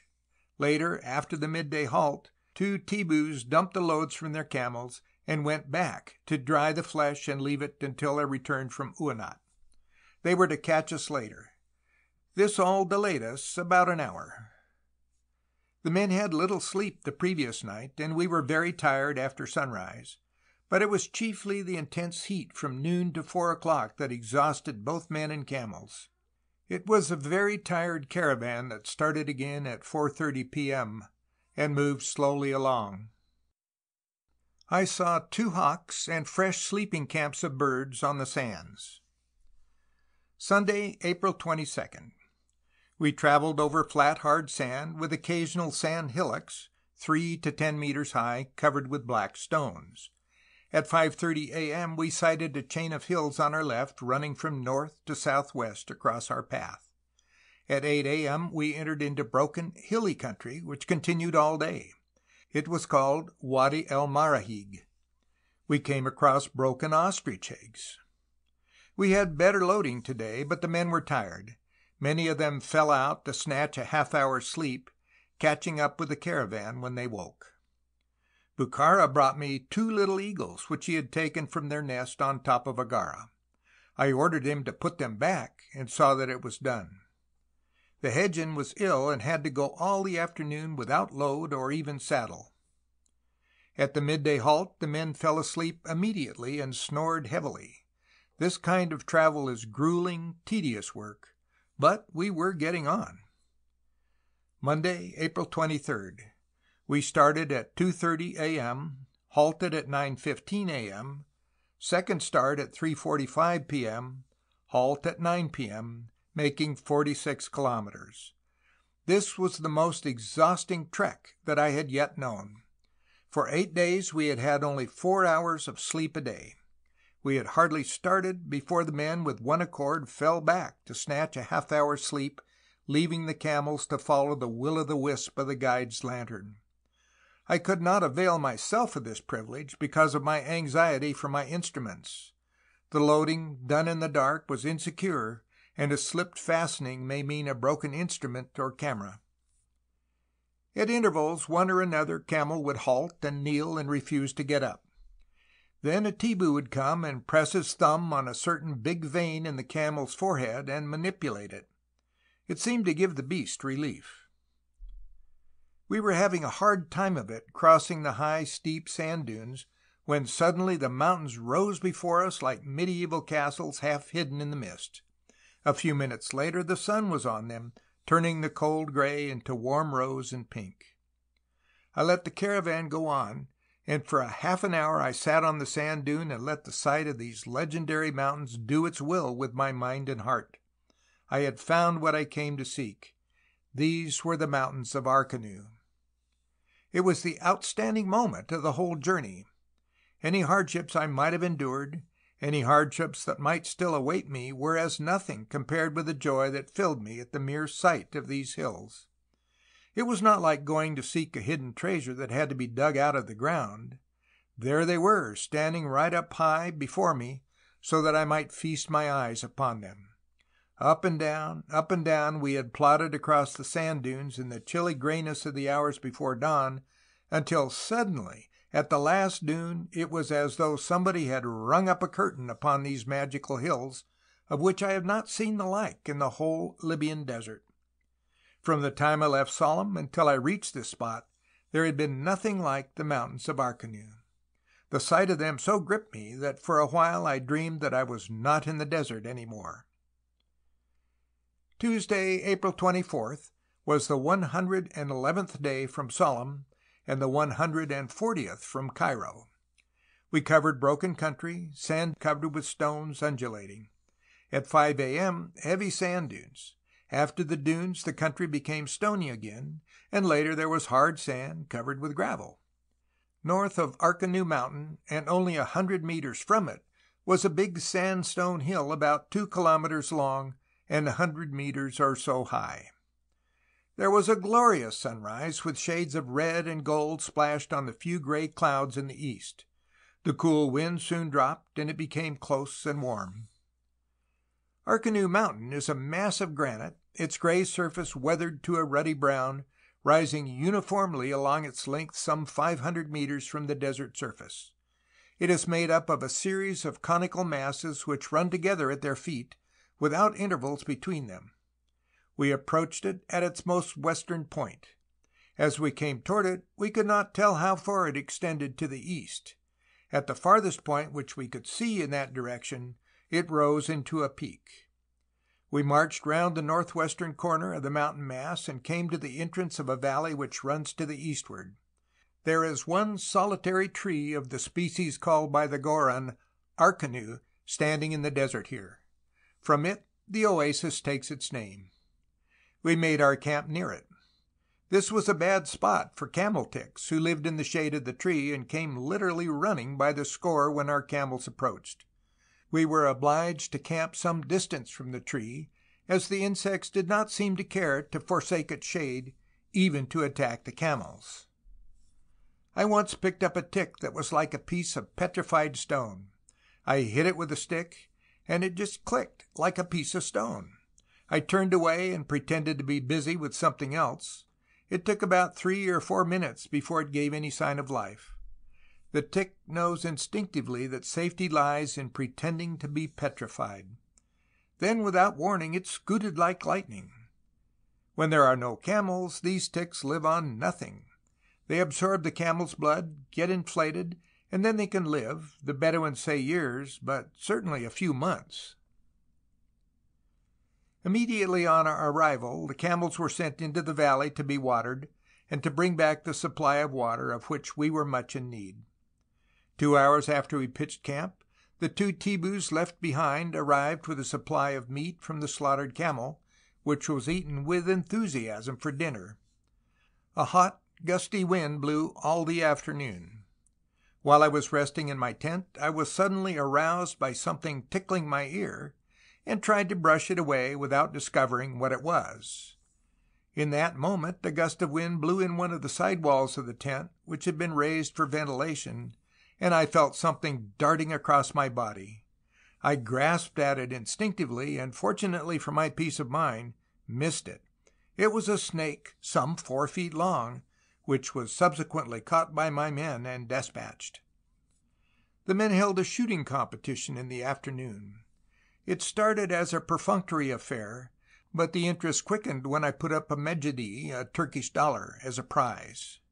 Sunusi Bujaber, though short sighted, won the contest. Hamid expressed the feelings of the other contestants when he said, "It was the medjidy that worked on my emotions and made me nervous. I had hit the mark before." I made observations and took photographs, and incidentally treated the guide's teeth. Gorin, the black tribes of the neighborhood, suddenly appeared from the valley and were kept to dine with my men. No one had dreamed of their presence until they appeared. The mountain looked desolate and deserted, and one would not suspect that inside it lies a fertile valley which is inhabited. As a matter of fact, Arkanu is not inhabited all the year round. In the valley is good vegetation to which in the past Bedouins, Tibus, and Gorin brought their camels during the grazing season. They closed the entrances to the valley with rocks, and left the camels there unattended for three months. When they came to take them back, said Mohammed the guide, they had as much fat on them as this. He put his closed fists one on top of the other. Wednesday, April 25th.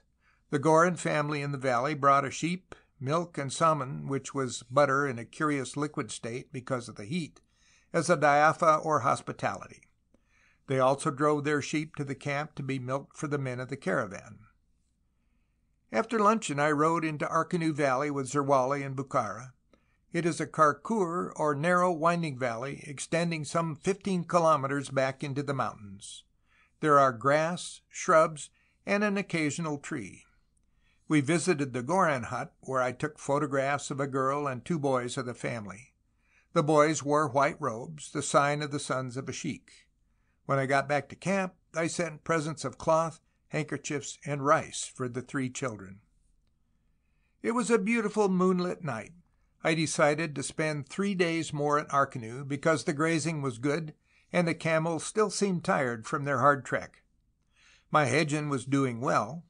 I picked up stones for geological specimens and aroused the suspicions of some of my men. They thought there was gold in what stones I had picked up, or else I would not take the trouble to carry them back home. Thursday, April 26th. At Arkanu. Highest temperature 36 degrees, lowest 9 degrees, fine and clear with very strong and hot southeast wind. Twice the wind blew the tents down. We sent the camels to be watered and to graze. It was a sweltering day, over 100 degrees Fahrenheit in the tent and only a little less in the shade outside. Making observations was difficult on account of the wind. I did not like to shelter myself behind the tent while making them for fear of arousing the inevitable curiosity and suspicion. The wind dropped in the evening, and we were repaid for a hot and scorching day by a beautifully cool evening with a fine moon. There was dancing and singing by Bukhara and the other men until midnight. Friday, April 27. Arkanu was the first of the two lost oases which it is my good fortune to place definitely on the map. There had long been a tradition that two oases existed close to the southwestern corner of Egypt, but the position that they had been conjecturally given on one or two maps was from 30 to 180 kilometers out of place. No one had described them from an actual visit. My observations showed that Arkanu is situated in north latitude 20 degrees 12 minutes 32 seconds and east longitude 24 degrees 44 minutes 15 seconds and has an altitude of 598 meters at the foot of the mountain. It is thus well within the boundaries of Egypt. The principal interest of this oasis, as at Uweinat, lies in the possibility it offers for exploring the southwest corner of Egypt, which has until now been unreached either by military patrols or by travelers. No one is known with any certainty of water supplies in that part of the desert which could be relied upon. The water at Arkanu is apparently unfailing and is drinkable, though not as wholesome for human beings as one could wish. Arkanu may conceivably prove to have strategic value at some future time, standing as it does almost precisely at the meeting point of the western and southern boundaries of Egypt. Both Arkanu and Uweinat differ from all the other oases of the western desert of Egypt in that they are not depressions in the desert with underground water supplies, but mountain areas where rainwater collects in natural basins in the rocks. The mountain chain of Arkanu, as I saw it, is about 15 kilometers in extent from north to south and some 20 kilometers from east to west, but there was no opportunity to explore it to the eastward so that I cannot say whether it may not extend farther in that direction than I have stated. I could only observe it as far as I could see from the desert at the western foot of the mountains. It may well be that off to the east Arkanu Mountain runs into a chain of hills of which the Uweinat Mountains are also spurs to the south. There is an opportunity for more explorations of the eastern portions of both these rock masses than I was able to make in the time and with the resources at my command. The nearest known point to Arkanu and Uweinat to the east, or rather the northeast, is Dakhla Oasis, some 600 kilometers distant. There is a tradition that there is an old track to Egypt between these two points, but a journey from Dakhla to Arkanu and Uweinat with caravan, which would take at least 14 days, would be a formidable undertaking. End of section 15.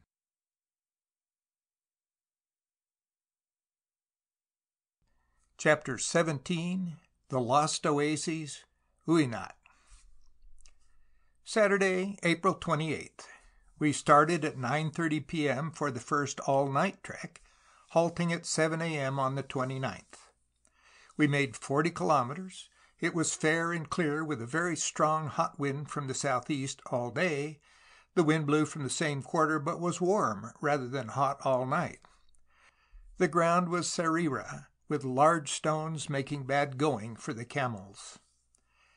At 6 a.m. we reached the western corner of Uweinat Mountain and camped an hour later. The day was spent quietly, chiefly in rest for the coming night trek. In the early evening we sent men to bring the camels from their grazing. Bukhara hired a camel from a Tibu to relieve his own, which he wanted to be able to sell at the end of the journey for a high price. I hired three Tibus and their camels to go with us, but not for the same reason. Our transport was inadequate, for the trek from Kufra had shown me that our loads were too heavy. The camels became quickly exhausted. The camels were brought in at eight in the evening, and we started an hour and a half later. They were lightly loaded this time because we were taking no water from our canoe. The water there, while its taste is not particularly unpleasant, is hard on one's digestive apparatus. We had three bad cases of dysentery among the men. The invalids rode camels from the start, and the rest of the men took turns during the night. The caravan started out in the best of humor. At intervals some cheerful spirit stopped and began to chant. In a moment half a dozen of them were lined up beside him, all chanting, stamping, and clapping their hands rhythmically as the camels filed past. The words of the song were always the same. En Khan Aziz Alaya Lanzar, Hatalau Beed Bidar. The accents are strongly pronounced and differ in the two lines, as I have marked them. I would translate the verse thus without making any attempt to fit it to the jazz rhythm that would be needed to complete the effect for the Western ear. O beloved, our eyes gaze after you, even though your camp is far away. Again and again the chant was repeated, until the performance ended in a sudden shout. I had been the whole audience for the little show, beating the rhythm with my whip, and when the shout went up I called out, Faragahu Barud, empty gunpowder, was the signal for a feu de joie from the rifles, after which we all took our places in the caravan and went on exhilarated. A night march has its advantages. The time, unless one is dead tired, passes more quickly than during the day, and the stars are cheering company for any lover of nature. On the horizon ahead of us loomed the dark masses of Uweinat Mountains. It is so much easier to march with one's destination distinct before one than to be walking on the flat disk of a desert where every point of the compass looks like every other, and the horizon keeps always at the same maddening distance. We steadily approached the mountains until the sun was rising over them, tinting and gilding their peaks and throwing out on the desert a heavy shadow whose edge marked steadily toward the mountain foot as we approached it from another direction. Shortly after sunrise we were opposite the northwest corner of the mountains, and an hour later we made camp close under their rocky walls. At this point there was an indentation in the mountainside, with a well and a cave at its inner end. We pitched our tents at the mouth of this little arm of the desert sea, and ten minutes later we were all sunk into sleep. This was our first full night of travel, and we had some arrears of sleep to make up. However, we did not sleep as long as we had expected to, but roused ourselves before noon and turned our attention to food. The French saying "Qui dort dîne" may be true under some conditions, but we of the desert find it more satisfactory when we are able to do both. We all found pleasant distraction in roasting parts of the lamb which was provided by Mohammed as diafa for Uweinat. I spent the rest of the day in visiting the well, which is situated in the cave in the mountainside, in taking observations, and in looking over our surroundings.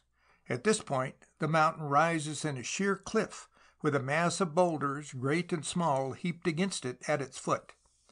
The stones that make up this Tabre, as the geologists call it, have been carved by ages of wind and driven sand into smooth, rounded shapes that giants of the heroic days might have used in their slings to kill monsters or for some enormous game of bowls.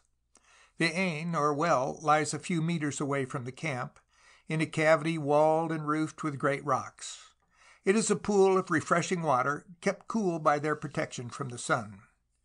The desert knows two kinds of wells, the Ain, which, properly speaking, is a spring, and the Bir or Matan, which is a place where water may be obtained by digging in the sand.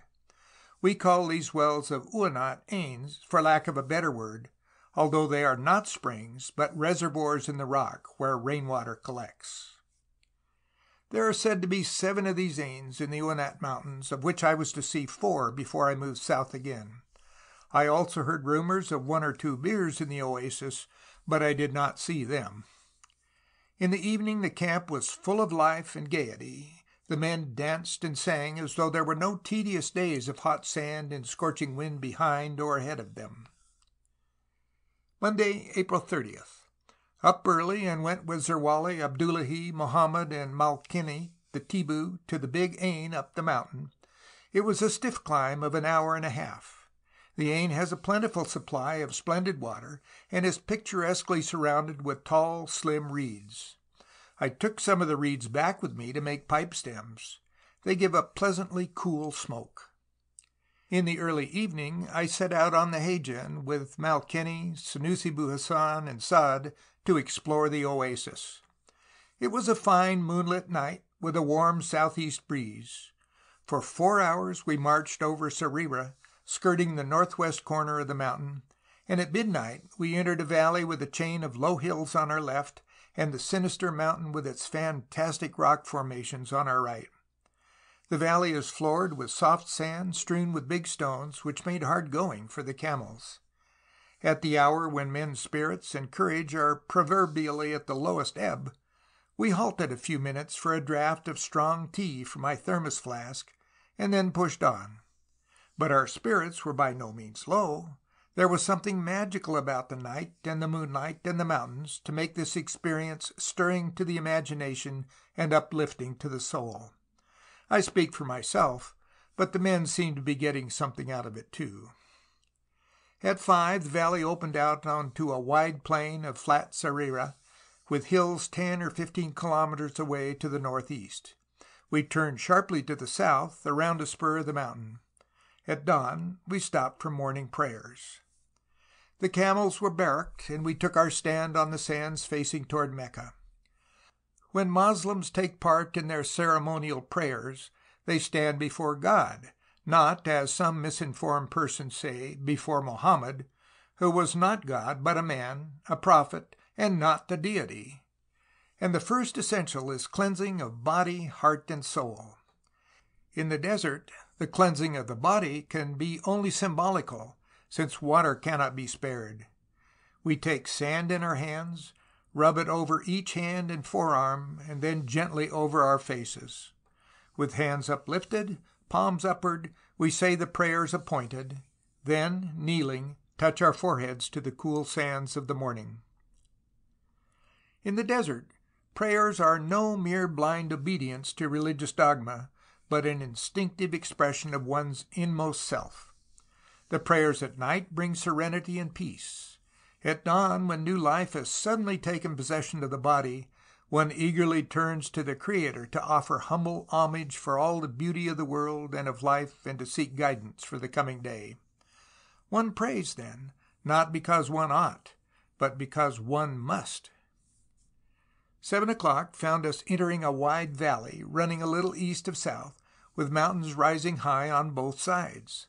The floor of the valley is as flat as a table, patterned with tufts of grass and marked here and there with mimosa trees and small shrubs whose leaves, when crushed, give off a fragrance similar to that of mint. At intervals the ground is carpeted with creeping plants of the colocynth, expanses of green leaves dotted with brilliant yellow globes like grapefruit. It is from this fruit that the Tibus and Gorin make abra. They boil the pips thoroughly to get rid of their bitter taste, and then crush them with dates or locusts in a wooden mortar. Abra is their staple dish. For three hours we proceeded up the valley, and at ten we camped, hot and tired, but not ill content. We ate a good meal of rice, drank our three glasses of tea, and went to sleep in the shade of a ridge. It was uncomfortable slumber, what with swarming flies and the moving shadow of the ridge, which made each of us shift position from time to time. As I opened my eyes a figure stood near me that seemed to be part of a pleasant dream. She was a beautiful girl of the Goron, the slim graceful lines of whose body were not spoiled by the primitive garments she wore.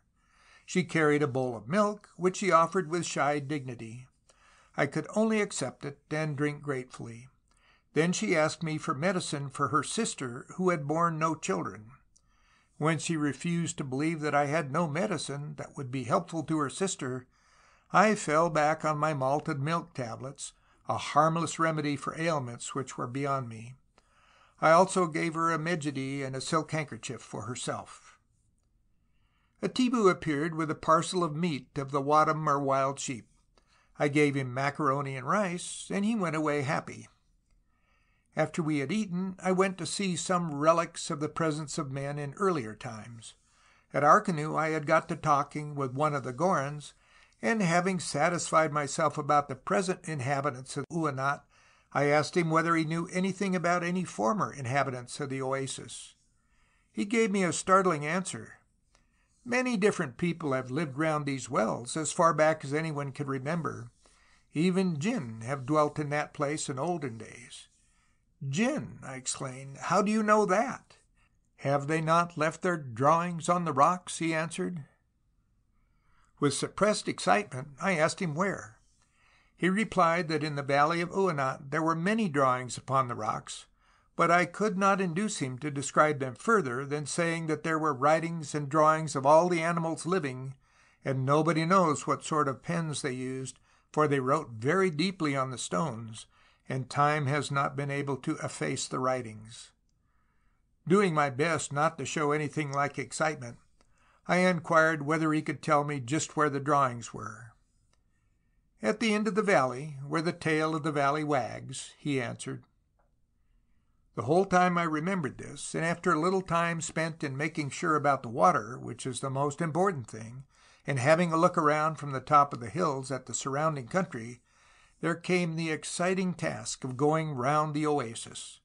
But the most exciting part of it was to find these rock inscriptions, especially as the history that I had been able to collect about the oasis was very scanty. I gathered that Uinat was the pied de terre of Tibus and Goron, who were going eastward to attack and despoil the Kabbabishi. Arkanu and Uinat, indeed, were very well placed for that purpose, since they provided water for the attacking party and at the same time were too far away for the Kabbabishi to dare to attempt reprisals or try to recover their own belongings. With these drawings in mind, then, I took Malkeni, who had joined the caravan at Arkanu, and toward sunset he led me straight to them. They were in a valley at the part where it drew in, curving slightly with a suggestion of a wagging tail. We found them on the rock at the ground level.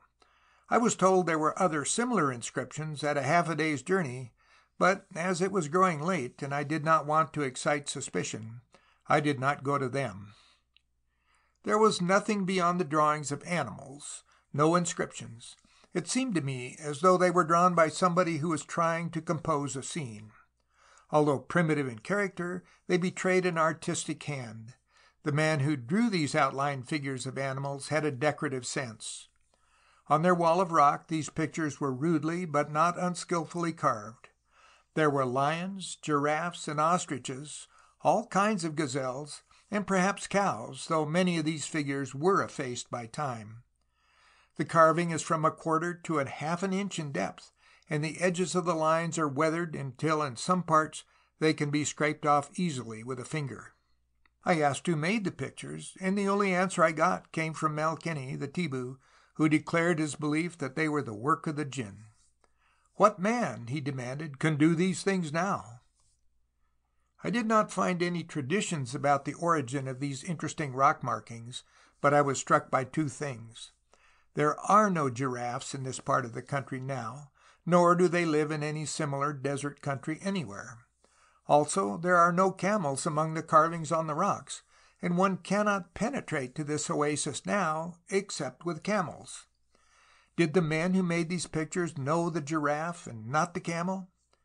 I reflected that the camel came to Africa from Asia some 500 years B.C. At 5.30 we started for the home camp. We wound our way up a steep mountain path, hardly wide enough in places for a single man, and exceedingly dangerous going for the camels. We reached the highest point of the path, and then picked our way down to the desert level south of the mountains. At the highest point we reached there were a few peaks around, some two or three hundred meters higher than we were. The camels went up and down the steep path wonderfully well in spite of the darkness, and at 10.30 we were at the foot of the mountains. It seemed best to give the camels a rest, and we halted at 11 for two hours. We had tea, and a Tibu family whose camp was near came to visit us. We snatched a brief sleep and awoke refreshed. There was a cool wind blowing, and the ride home over the level desert was a pleasant relief after the hot work of climbing about among the rocks. We reached camp at 10 a.m. of the 2nd, and were met with firing of rifles and an agreeable welcome. Wednesday, May 2nd. On reaching camp, we found Sheikh Herri, the Gorin chief who is called King of Uinat, and its 150 inhabitants. He came the day before to visit me and waited for my return. He was a very nice old man with a calm, dignified face. He brought two sheep, milk, and abra for Diafa. He was keeping Ramadan, and I insisted on his staying the night with us. Otherwise I could not offer him hospitality, since he might not eat or drink until sunset. I had a long talk with him and with Mohammed. The old chief was still fond of his own country north of Wadai, and sighed when it was spoken of. He belonged to the Hezi family, which is a ruling family of Gorin in northern Wadai. He came to Kufra as a voluntary exile when the French entered Wadai, and later he settled in Uinat. I found myself tired after our twenty-eight hours of trekking with only nine hours of rest, but a bath, a meal, and a short sleep made life worth living again in the evening. Bukhara had organized a chorus among the men, and the evening was spent with Bedouin, Tibu, and Sudanese songs. Thursday, May 3rd. Herri came to my tent with a bowl of milk when I got up. When I thanked him, he shook his head sadly. This is all I have to offer, he said. It is not worthy of you, but you will forgive us for not being able to give you the hospitality that you should have. I assured him that it is the spirit that counts in these matters, and not the intrinsic value of the offerings. The day was spent in preparation for the start south, which I hoped would be made on the morrow. Friday, May 4th. I made an arrangement with Herri to go with us to Erdi as an additional guide. Mohammed had not been through this country for a number of years, and I felt that Herri should know it better. In the afternoon I went for a long walk and took photographs of the mountains. By this time all the Tibu and Gorin settlements, which are scattered about the oasis wherever there is grazing for their beasts, had heard of our presence, and the people came to visit us. There were many guests for dinner, and it was a very gay camp. It was one of the pleasantest evenings of the trip. Before we leave Uinat, I must say something about Bukhara, who is one of the most interesting people in the caravan and a romantic figure. He is tall, slim and wiry, a typical Bedouin, always cheerful and with a song at his lips at those critical moments in the day, early in the morning or late at night, when the men are tired with the night march and need encouragement. I did not know that he smoked until one day, as I was saddling my horse, I caught him collecting the cigarette ends from the spot where my tent had stood. After this I shared my cigarettes with him. It was great fun to hand him a packet of the precious articles and see him break into a song and dance for joy. Bukhara is one of the most traveled Bedouins that I have come across. He is only 33, and yet he has traveled to Wadai, Borku, Bornu, and Darfur. He has seen days of good fortune in the past, but today he owns but one camel. He has thrown in his lot with my caravan, arranging with Buhalega that he is to have a share of the money received for the latter's camels when they are sold at the end of the journey. He speaks most of the dialects of the black tribes and knows a great deal about them. He is also a wonderful mimic. One evening he put on the green cloth that formed a partition in my tent as a burnous and with Saad and Hamed bleating like sheep behind him, came to camp pretending to be a Bedouin sheik, bringing the two sheep as Diafa. We were kept in roars of laughter, and suddenly Bukhara flung away the green cloth, and snatching a spear from one of the Tibus, broke into a Tibu war dance. A Tibu assisted him by beating a rhythm on one of the small empty fantasses. This droll exhibition was followed by a concert of Bedouin songs from Cyrenaica, Fezzan, and Tripoli. I have seen Bukhara refuse to mount a camel to ride when all the Bedouins have yielded to temptation. "Why don't you ride, Bukhara?" I asked. "There are several unloaded camels." What would my Washoon (wife) say if she heard that her Bukhara had ridden between Arkanu and Uinat? he replied with scorn in his voice for the thought. He told me that on one occasion he had been entrusted with some fifty camels to take to Uinat for grazing. He was alone and ran short of food. For twelve days I ate no meal except the pits of colocynth, which upset my digestion, he replied simply. Then I reached Kufra. The men at Kufra who had sent me for the camels had forgotten to send me food. They had expected me at Kufra earlier. But why didn't you slaughter a camel? I inquired. Should I permit the men of Kufra to say that Bukhara could not endure hunger and killed a camel? he retorted proudly. Bukhara is very fond of his wife. When we reached Arkanu, he said to me, "I am feeling better now, but I cried like a child when I said good bye to my Washoon at Kufra. It is always like that when I begin my journeys. If the company is good, I forget more quickly." End of section 16.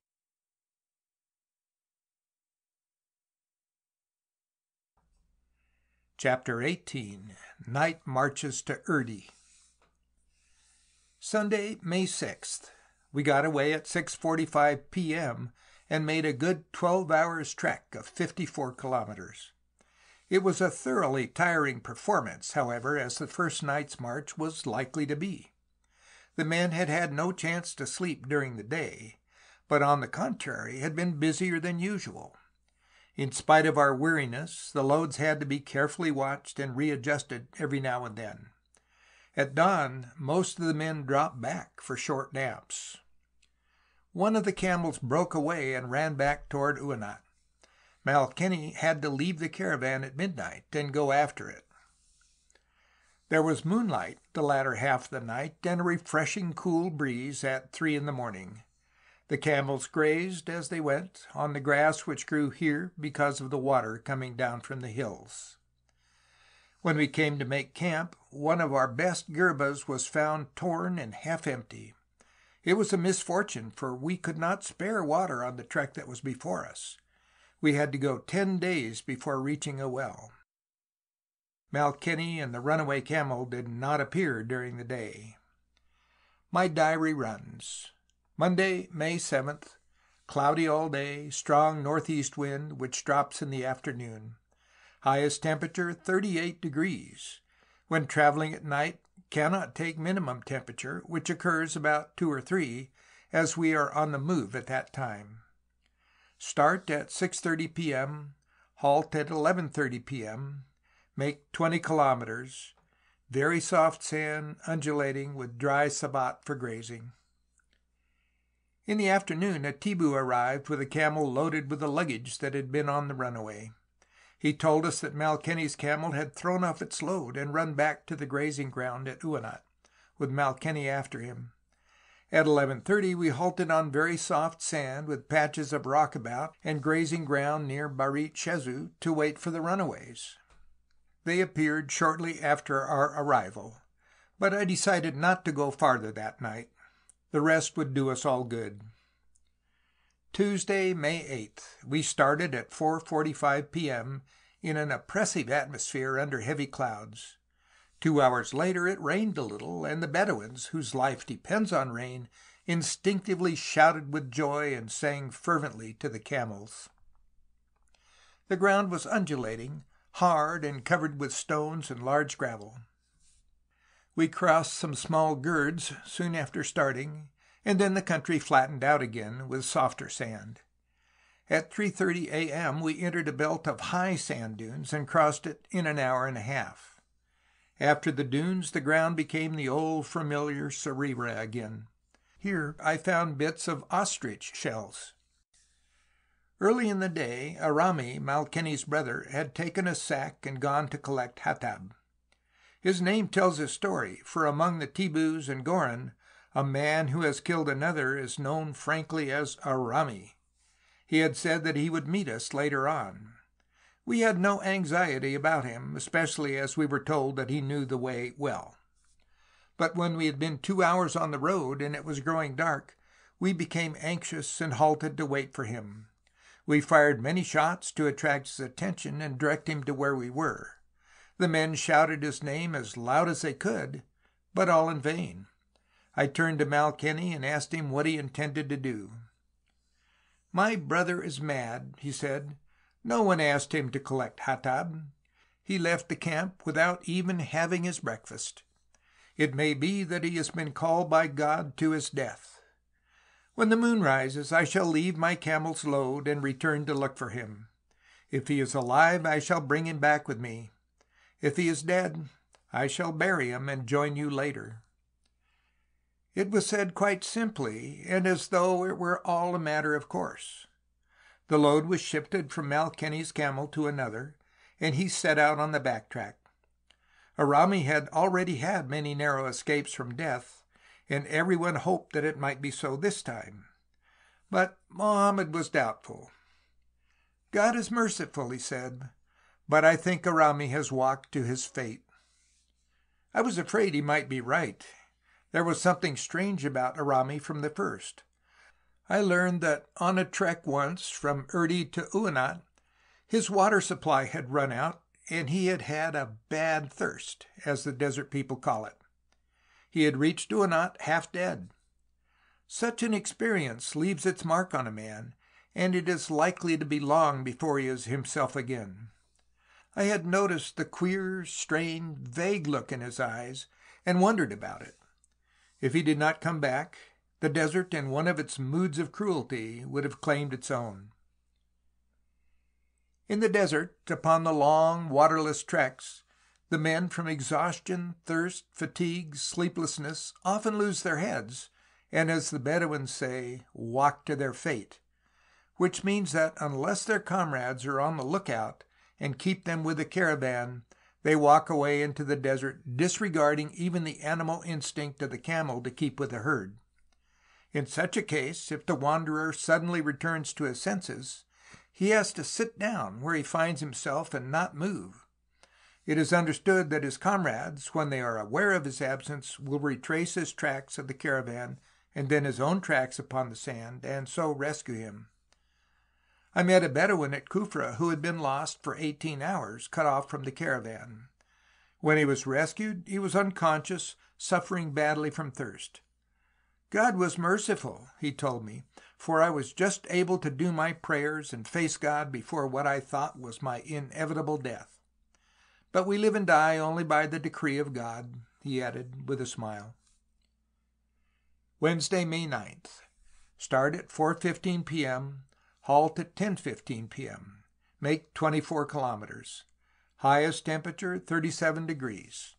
White clouds and very strong warm winds from the northeast, which continues all day and at night develops into sandstorm.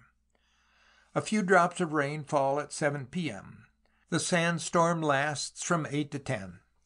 The ground is ordinary Serira with soft sand in places. There are no landmarks and no dry grass.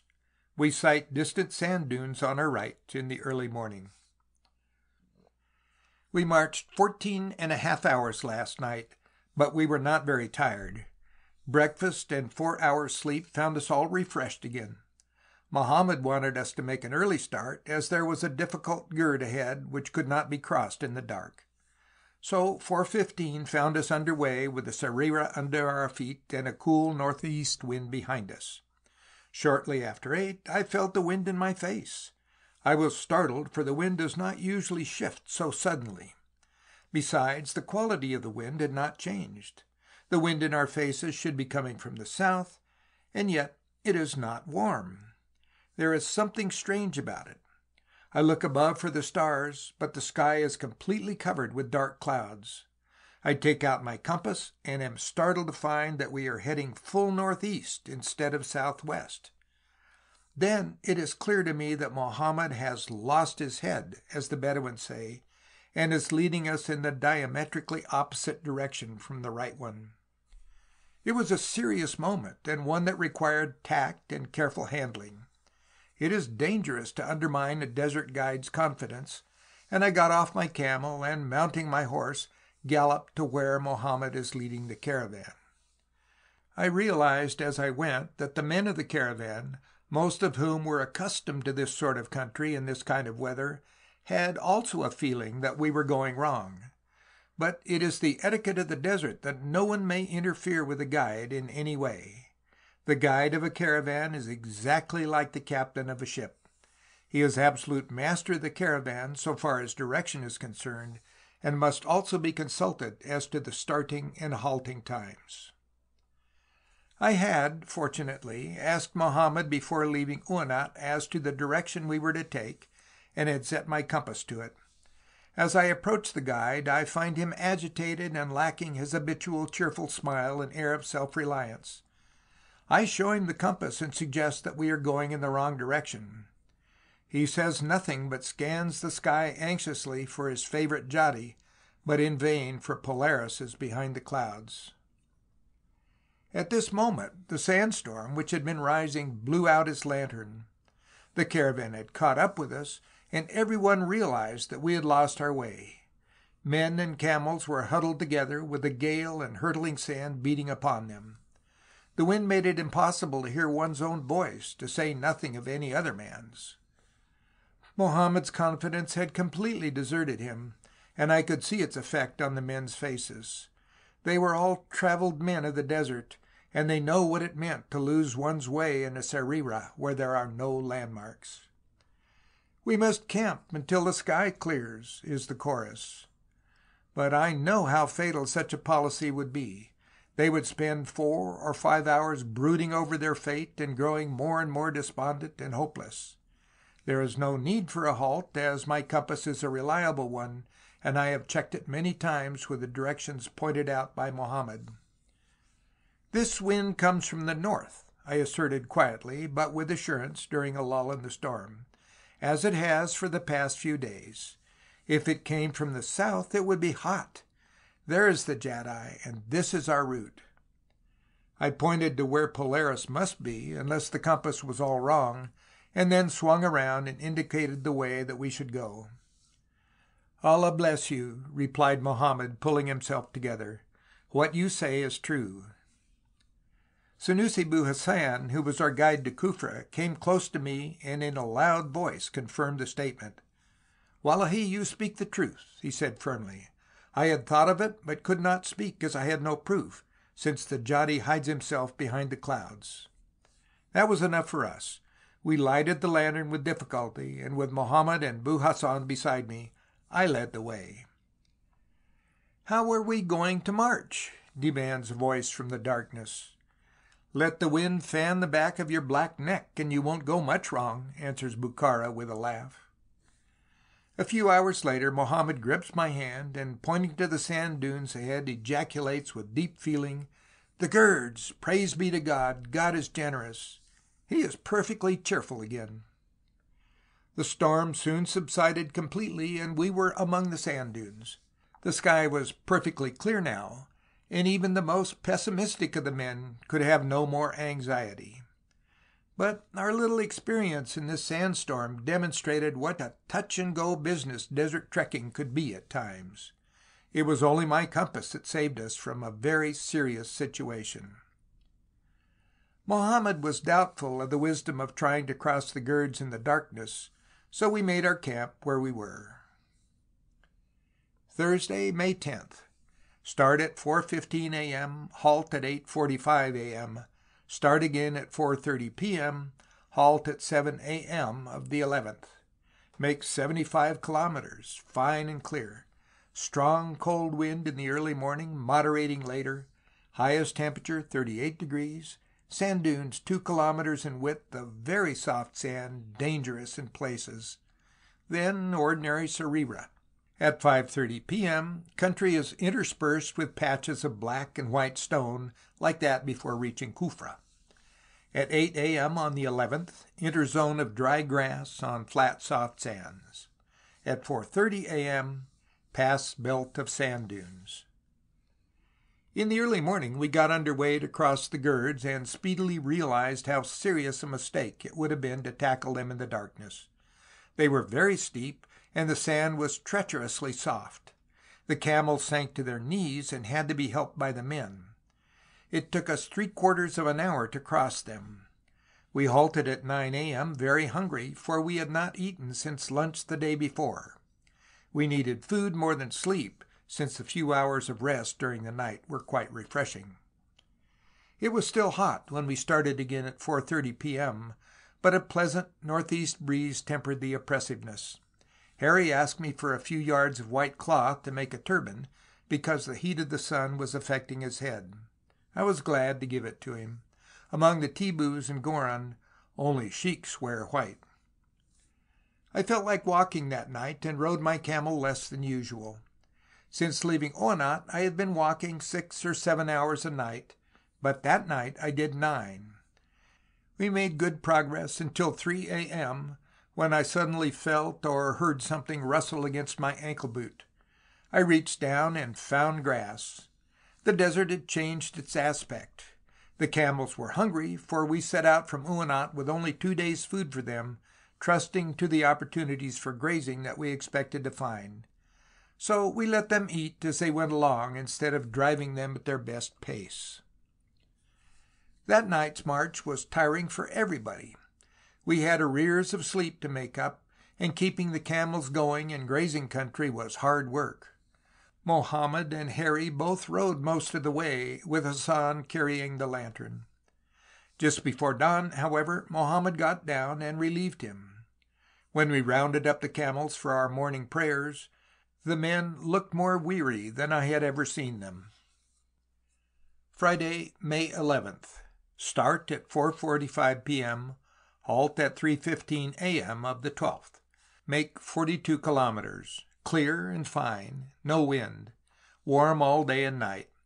Highest temperature 39 degrees. Soft sand covered with dry tufts of grass like a field of ripe corn. At 12.45 a.m. pass an ordinary gird. At 1 enter the flat Serira without grass. At 3.15 halt at Sandstone Hills, having missed our way. The day was spent in sleeping and eating, and at 4.45 p.m. we started with the intention of marching all night. But by ten everybody was tired and sleepy. Even Mohammed was riding his camel. In the next few hours he fell asleep at intervals, and because of his fatigue did not look back to correct his direction by Polaris. When a guide neglects the Jadi, he is far gone indeed. Senussi Bu Hassan, and I felt certain that he was not taking the right course, but did not want to interfere with him again after the previous night. At 3.15 a.m. we came to a ridge of hills, and Mohammed stopped dead. Until now I had been walking behind the caravan and checking from time to time the bearing on which we were going. We had been walking since ten o'clock more to the southward than before. When the caravan halted, I rode forward to Mohammed and asked why we were stopping.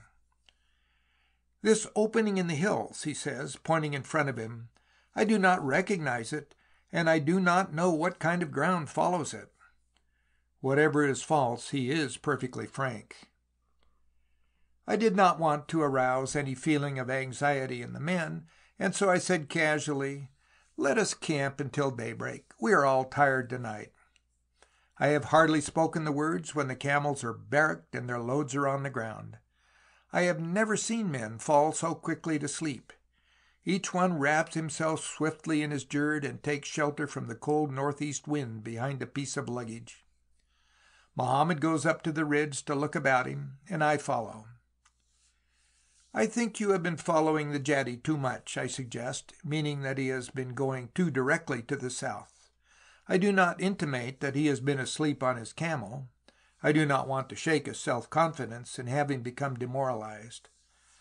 Allah bless you, he murmurs, scanning the horizon anxiously. I must have done so, for we should not have reached hills so early. I counted on getting to them at dawn. But in the morning God will bring solace. I am somewhat troubled as I leave him and lie awake a few minutes, hoping that we have not gone far from our proper path. But I am too tired to worry long and quickly go to sleep. Saturday, May 12th. At 4.30 a.m. Mohammed's voice is heard, To prayers, O ye Moslems! We quickly get up and are under way in an hour. Mohammed puts himself at the head of the caravan, and I join him. He is still troubled, but as we round a corner of the hills he sighs with relief. Allah be praised, there lies our way. He points to the northwest corner of the chain of hills, and we make for it. We reach it at 9.45 a.m. and pitch camp. The camels are sent a kilometer or two into the hills to graze. Men and camels are in bad shape, and the water is getting scarce. In the afternoon Mohammed and Herri go ahead into the hills to make a track in the sand with a tent pole for us to follow. At 5 p.m. we follow them into the sand dunes and thence into the hills. The girds are fortunately not many, though they are steep enough, but it is the hilly country beyond them that takes it out of us.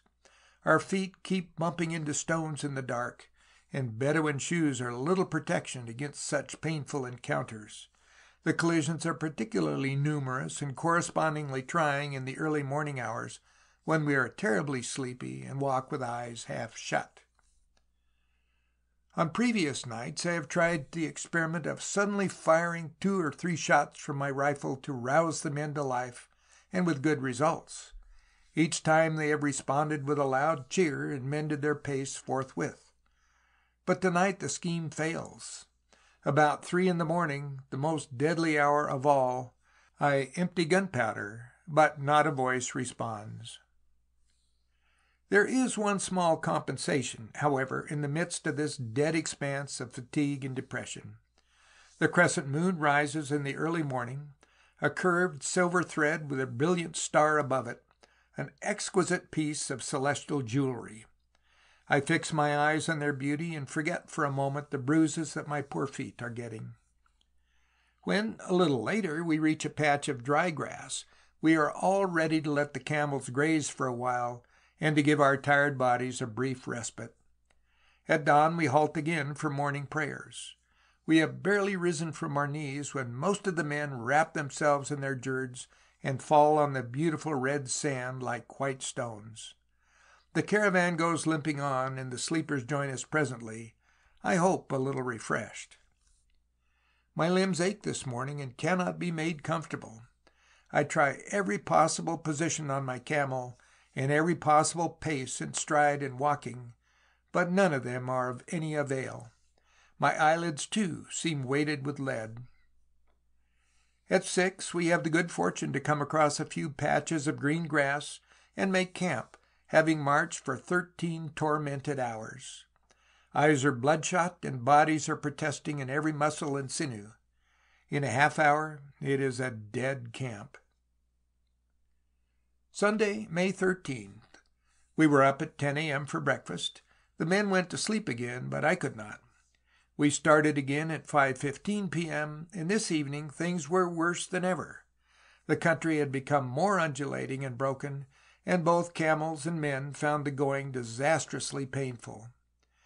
Camels were continually being left behind as we wound about among the dunes and little hills of rock. They found bits of grass and fell to grazing. It was very difficult to see them against the red sand spotted with patches of dark stone. The singing stopped early that night, the surest sign that the men were dead tired. Zerwali told me that Mohammed had come to him to say that we had better camp early and not try to march too long tonight. The going was so difficult, and we changed directions so often to go around the elevated points and stone outcroppings that there was a danger of losing our way. But Zerwali, knowing how averse I am of any delay, had told the guide that I wanted to make a night's march of it. At last the walking was so hard and camels were so continually left behind that I felt that there was no use in going farther.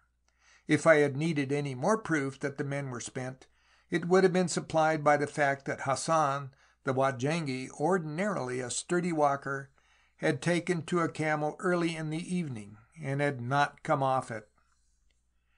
We camped at 11.30 p.m. I wrapped myself in my jerd and told the men not to bother about making a shelter for me. I am sure I did not move from the first position I dropped into until five. I got up with a stiff back and aching legs. The morning air was serene and refreshing, and the sight of the men busy and eager to go ahead made me forget my physical discomforts. In spite of the new spirit of cheerfulness which the morning brought, however, things were not too encouraging for us. The country was nearly as bad for trekking as it could be. The men seemed to be losing confidence in Mohammed and Herri. The camels were in bad condition, and our water was very low. Monday, May 14th. Start at 6 a.m., halt at 9 a.m., start again at 5.30 p.m., halt at 10 p.m., make 30 kilometers. Fair and clear.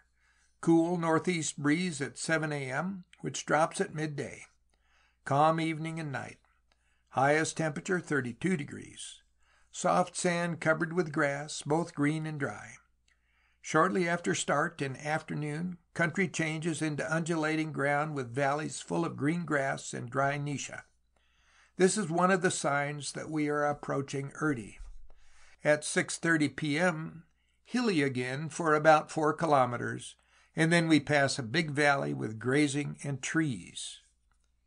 As we started again in the morning, I intended to go forward for four or five hours, but it speedily got too hot, and we camped at nine. The four hours' rest had its good effect, and no one went to sleep until we had had breakfast. In the afternoon Mohammed and Herri went ahead again to mark the way, as there was even more difficult going before us. The caravan got under way at 5.30 p.m. Our water had become scarce and bad, and the camels looked weak and exhausted. We were anxious to reach Erdi as soon as possible. Shortly after the start, Bukhara and Arami, not the one who went away into the desert and disappeared, but another who had also killed his man, found the track of a big warren or lizard, and we followed it to its hole. A little sport was a pleasant relief. We dug into the hole, but the lizard was not at home. We traced its track to a pile of rocks, and after twenty minutes of excavation caught the creature. The Bedouins and blacks use the fat of the warren as a medicine for rheumatism, and say that if one carries its head about with him, he is safe against black magic. Its skin, hung in a house, is reputed to keep snakes at a distance. The warren does not bite, but it has a tail like a whip with which it can do damage. Arami skinned the creature for me. We followed the track made by our guides, but lost it many times in the dark, and wasted time finding it again. At last it began to wobble about, and I realized that Mohammed was by no means certain of his direction. I ordered the men to camp and fired shots into the air. Shortly we were joined by Mohammed and Herri, who were relieved that I had decided to halt. The guide told me that he could not be sure of his road in this country in the darkness, but that he knew we were not far from the well. For the first time since leaving Uinat, we had five solid hours of undisturbed sleep. Before going to bed, I talked to Arami about Erdi and its wells. Mohammed is a good guide by daylight, he said, but he is old, and at night he does not see much. Besides, he has not been to this country for several years.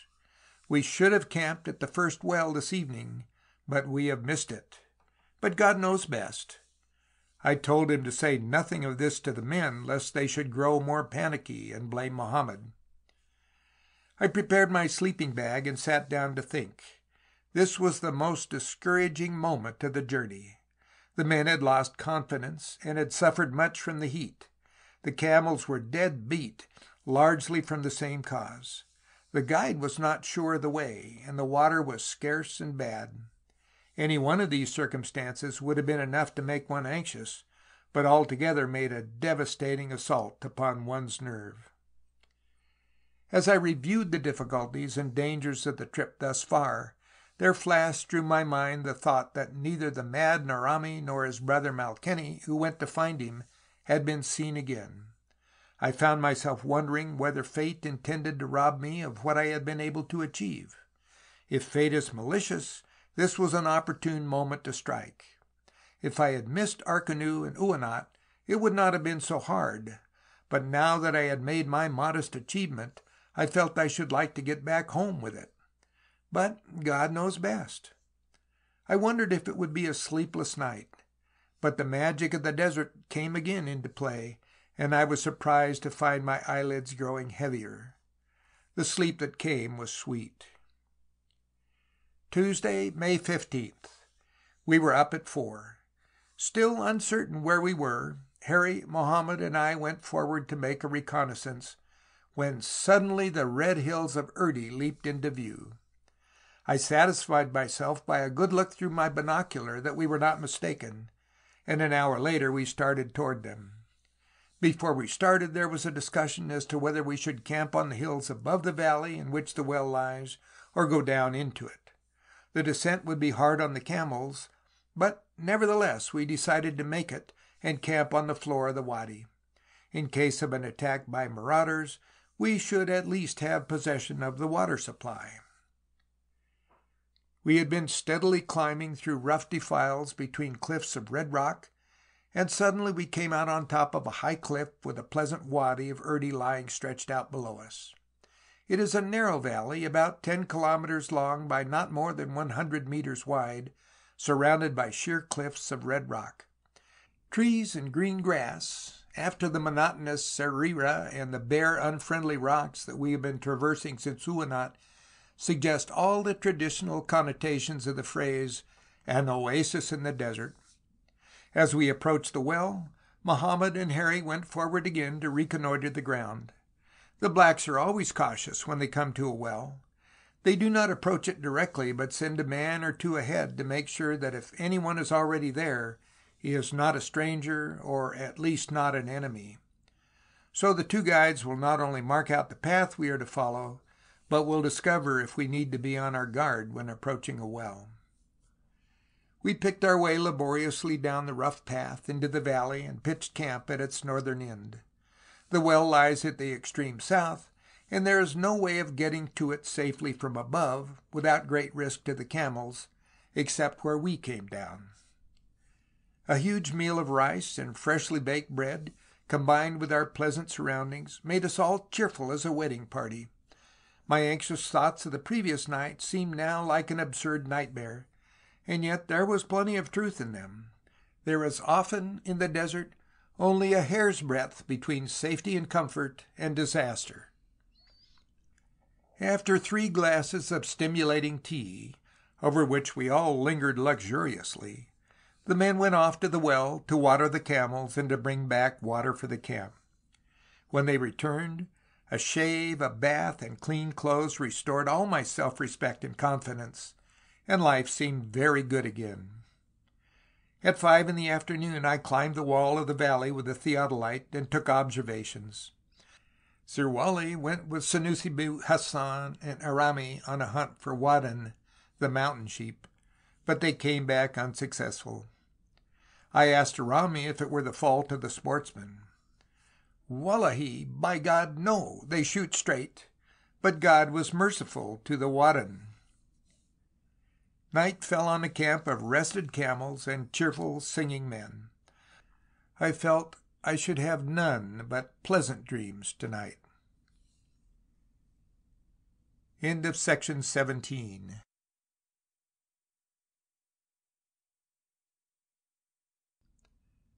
Chapter 19 Entering the Sudan I got up early in order to open the film box and refill the cameras while it was still cool. At seven, with Mohammed and Hamad, I set out to visit the well. The valley of Erdi is what is known as a karkur, a long, narrow depression in the hills which winds like a snake. It runs to the southward for seven or eight kilometers, ending in a cul de sac where the well lies in a shadowy hollow under the rocks. The pool is semicircular in shape, half a dozen meters long and half as broad. The well is like those at Uinat, although I suspect that in addition to the rain water it may possibly be fed by a spring. The approach to it is a rocky and somewhat dangerous climb. The night before, one of the camels bringing water slipped and hurt itself rather badly. We climbed up to the Ain, had a rest and tea, and rode home under a hot sun. The valley is beautiful, with its sheer walls of red rock and the green grass and trees scattered about below them. Mohammed told me that it is the most difficult valley in this region to enter and therefore the easiest to defend. In the late afternoon I climbed the valley wall to watch the fine sunset and the play of the light upon the red sand and the rose colored rocks.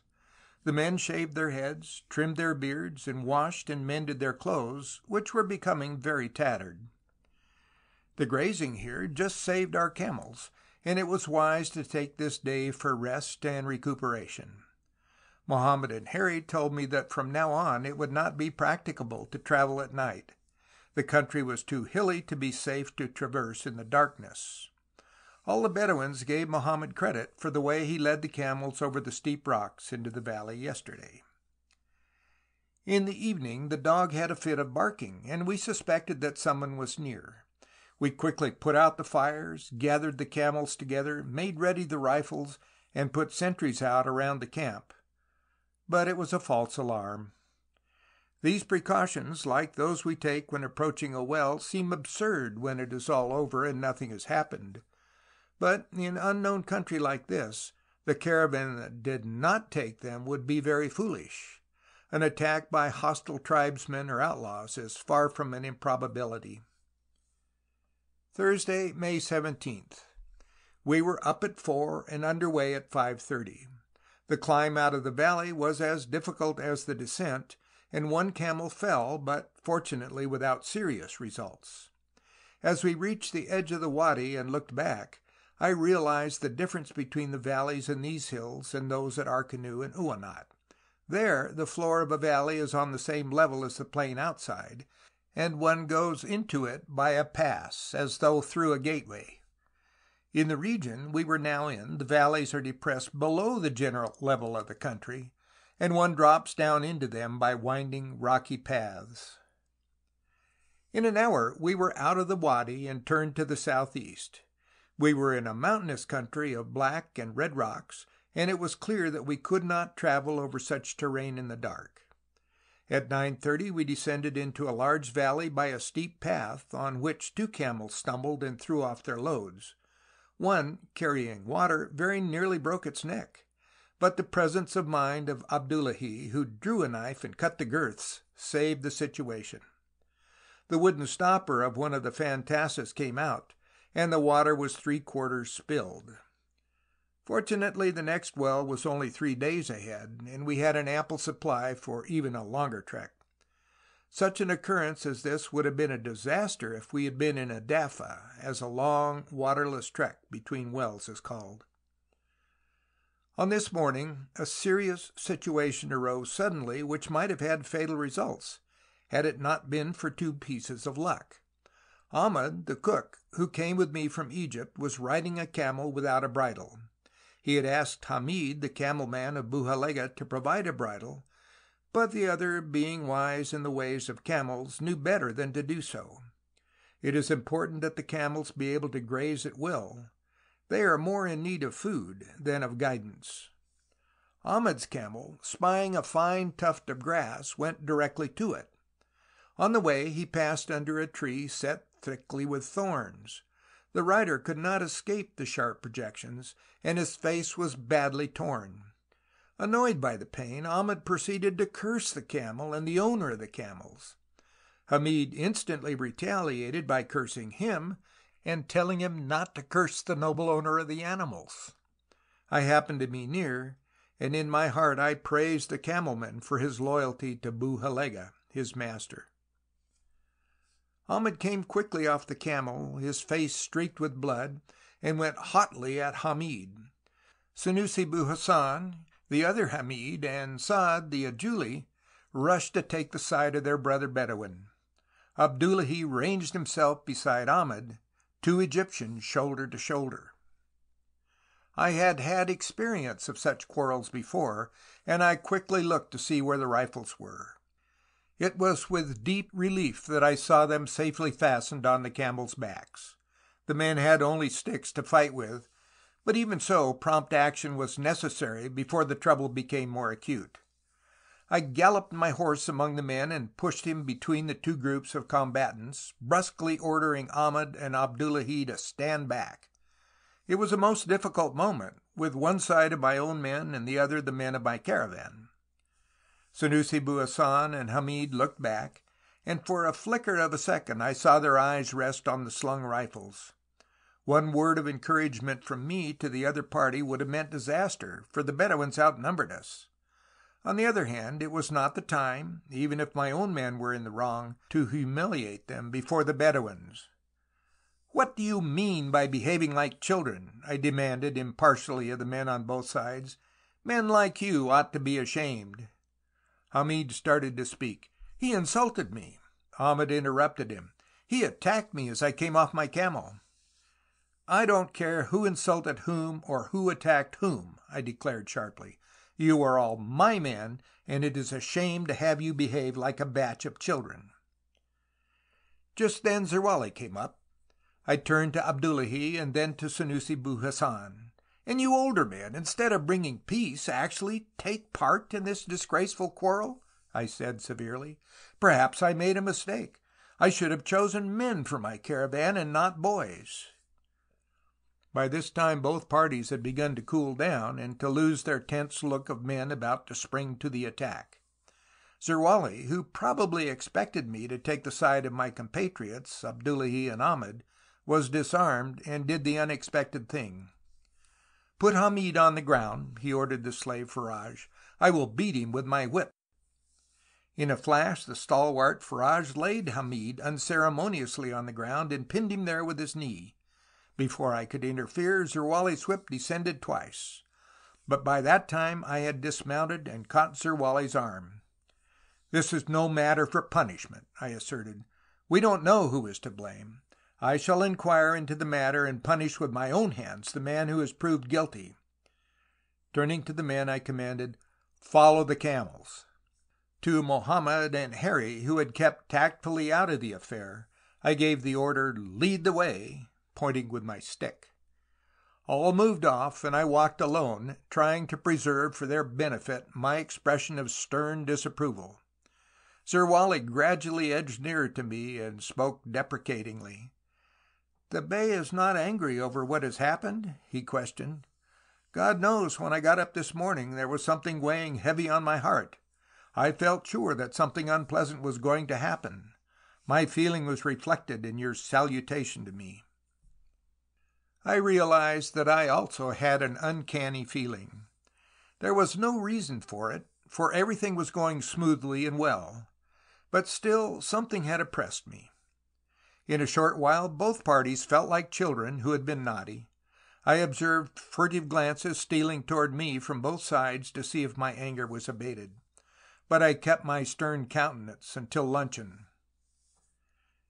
Those who have traveled in the desert and know the Bedouins will realize what a serious possibility this incident contained. A single harsh word, interpreted as an insult, means shooting if guns are close at hand.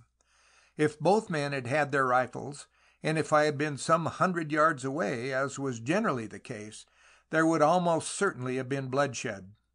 The Bedouins would probably have killed Ahmed and Abdullahi out of hand, then what could I have done, as an Egyptian, but avenge the killing of my countrymen at whatever cost to myself? How lucky it was that the rifles were lashed to the camels, and that I was close at hand! "We are getting near the end of our journey," said Zerwali. "The men are always quarrelsome then." By the time this dangerous incident was over, the sun was very hot, and we camped in the valley in the shade of some fine trees. The camels had good grazing, while we ate and rested. Before we started in the afternoon, Mohammed, Senussi bu Hassan, Bukhara, and Hamid, the camel men, came to ask me to forgive Hamid for having let his anger get the better of him with Ahmed. I pardoned him readily, and he went to Ahmed and kissed his head. Ahmed returned the compliment, and then the quarrel was ended, in the best Bedouin tradition. We made our way down the big valley for three hours and camped near its mouth at 7.15. Shortly before halting we saw ahead of us the distant hills of Aga, where the next well lay. The ground before us was flat serira, and it was a relief to see it. On this morning, when we were going down into the valley, it looked as if all our baggage would be in bits if there were more of these precipices. In places the descent was so rough that for the safety we had to unload the camels. The men had to carry the baggage down the steep rocks, often a drop of three feet from boulder to boulder. The new moon had risen as we camped. The next day was Bairam, a feast marking the end of Ramadan, and Zerwali came to say that the men would like to feast according to our Moslem custom. I willingly agreed, since the Aga hills were in sight before us, and the water supply was ample. Besides, the excellent grazing in this valley would do the camels good. We all rose early the next day, Friday, May 18th, and put on clean clothes for the feast day. We exchanged good wishes and followed them with the prayers appointed for Bairam. There was a look on every face as of men who are thinking of those left behind at home. I produced a few medjidies and Egyptian notes and distributed them. The coins went to Mohammed, Herri, Hassan, and Arami, who were to leave us before we reached the territory where Egyptian notes are current. The rest got the notes, which they would be able to use at El Fasher. To Zerwali I gave twenty rounds of revolver ammunition and a bottle of scent. Another bottle of scent was divided among the men. Bukhara received one of my pipes and tobacco to go with it, and he declared that he did not know what to do to return all the kindness I had shown him. I have only my camel and the clothes on my back, he said. He has given me the value of my camel in tobacco. It was a cheerful camp at breakfast. The men were pleased with their gifts, and I enjoyed their satisfaction. After breakfast we all lay down for a siesta, but got up again promptly, our bodies itching furiously from the assaults of white ants. At 5.45 p.m. we made our start, and a half hour later emerged from the valley upon the Serira.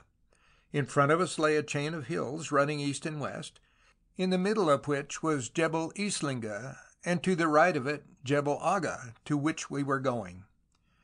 Herri said that there was a well also in Jebel Islinga, but that it was difficult to get at.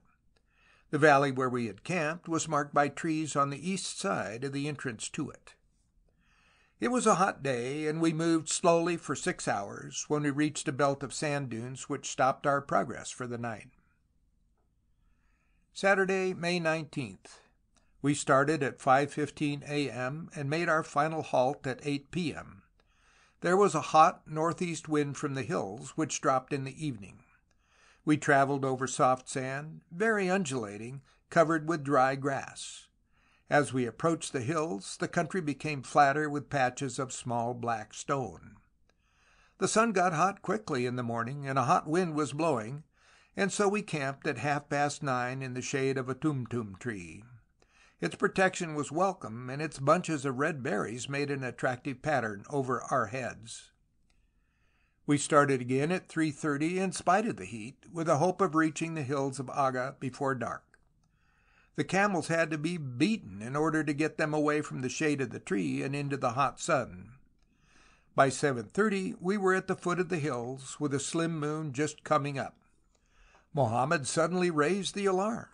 He had found the fresh tracks of two men leading toward Muridi. A stranger in the desert is an occasion for vigilance until he proves to be not unfriendly. Rifles were quickly unslung. The oil rags were stripped from their breeches and cartridges shoved in.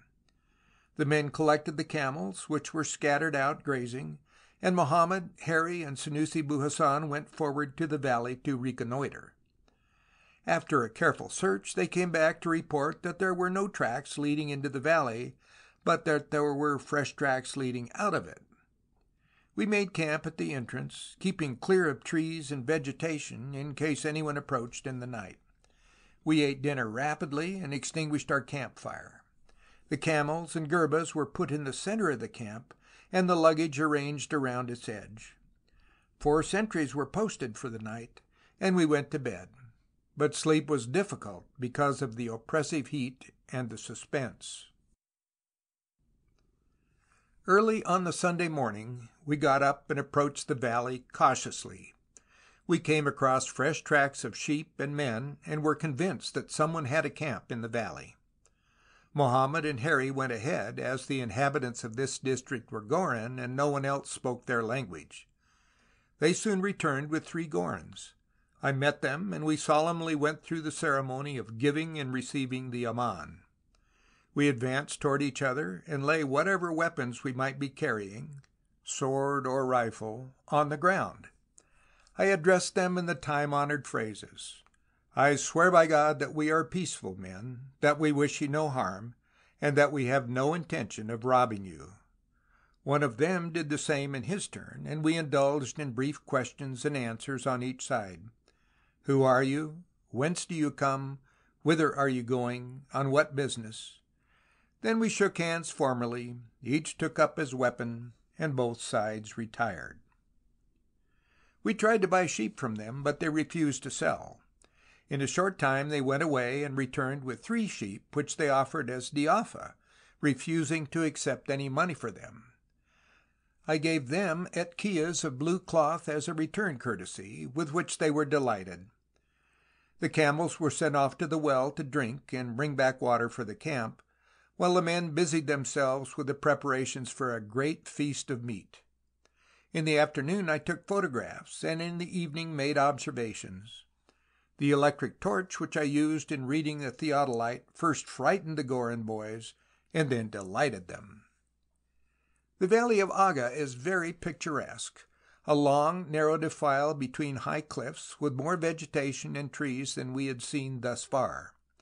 Halfway down its length it divides, one branch leading southwestward to the well, and the other southward toward the open desert. The well is similar to that at Erdi, but its water is badly fouled by sheep and camels. The valley is full of birds whose pleasant songs make one think one is at the aviary in the zoo. We were up while it was dark and the stars were still shining in the clear sky. The Gorin came to say good bye. Arami and Hassan had declined to go further south and left us to return to Uinat with the Rami's camel. We found our way down the eastern fork of the valley, its steep sides protecting us from the sun. On the way we sighted three gazelles, and some of the men gave chase, but the nimble animals climbed the hills and escaped. Hamid, the Zawaya, fired at one and missed, to the scornful delight of the others. Hamid, however, refused to admit complete failure. By God, he stoutly maintained, I hit it. I saw the blood spurt. It did not matter so much, however, as we still had meat left from the diafa of the Gorin. It quickly got too hot for comfort, and the camels, fresh from drinking, refused to go on. We camped in the shade of a tree, but soon discovered that better protection from the sun was to be had in crevices in the rocks. The camels were allowed to graze, and the men settled down to prepare the midday meal. Two sheep were slaughtered, and their flesh, impaled on sticks, was slowly revolved before the fire to roast in the Bedouin fashion. It was delicious. While the meat was being prepared, Saad cut his hand. I saw the blood and asked where it came from. From Hamid's gazelle, said Bukhara, and once more the shouts of laughter went up over the unsuccessful hunter. After lunch I wound my watches, recorded the readings of the aneroid and the maximum and minimum thermometers, and wrote up my diaries, when Hamid the camelman came running to say that a herd of ostriches was near by. We all grasped our rifles and stood ready. Soon the ostriches appeared, thirty or forty in number. The Bedouins were impatient and opened fire while the distance was too great. The ostriches dashed off into another valley with the men in hot pursuit. Many shots were fired, but Zerwali soon came back to say that nothing had been killed. In a little while Hamid appeared carrying a small ostrich and followed by Senussi bu Hassan. Both men claimed to have shot the creature, and since there were two bullet wounds in it, either of which might have been fatal, they appealed to me for judgment. I asked the opinion of the men who saw the shooting, and all agreed that Hamid's shot felled the bird. I decided in his favor. Later, Hamid, the camelman, small and sharp of features and afraid of no animals, not even snakes, came upon an ostrich in a closed part of the valley, and after attacking it unsuccessfully with stones, rushed at it and caught it around the neck. He wrestled with it manfully but it landed a kick on his side from one of its powerful legs and ran away. I was watching the contest through my binoculars and nearly split my sides with laughter. The ostrich mounted a ridge, looked back scornfully at Hamid, who stood cursing it, arranged its feathers, and trotted off with the gait of a gay dowager, leaving him with his hand pressed to his maltreated side. "Has the ostrich hurt you?" I asked solicitously when he returned. "Oh, no," he replied, quickly taking his hand from his side. "Why didn't you bring it back, then?" I asked again. "I had to let it go," he explained with great plausibility. "She was only a female." One of my great regrets on this trek was that I was unable to follow game as I would have liked to. The night marches between Uinat and Erdi left me too exhausted in the morning to do anything but record the readings of my scientific instruments and try to snatch two or three hours' sleep before it was too hot.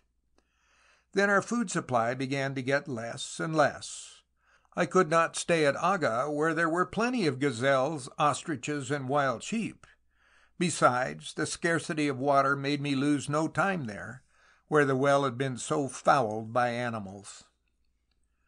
An old Egyptian army Martini and an Italian cavalry carbine which I was given at Kufra, handy as they would have been for self defence, were of little use for long range work on game, especially gazelle. Hunting, therefore, was a diversion which I had to deny myself. It was very hot, and we could not start until 5 p.m. We followed the lovely valley for an hour, and then began to climb the hills.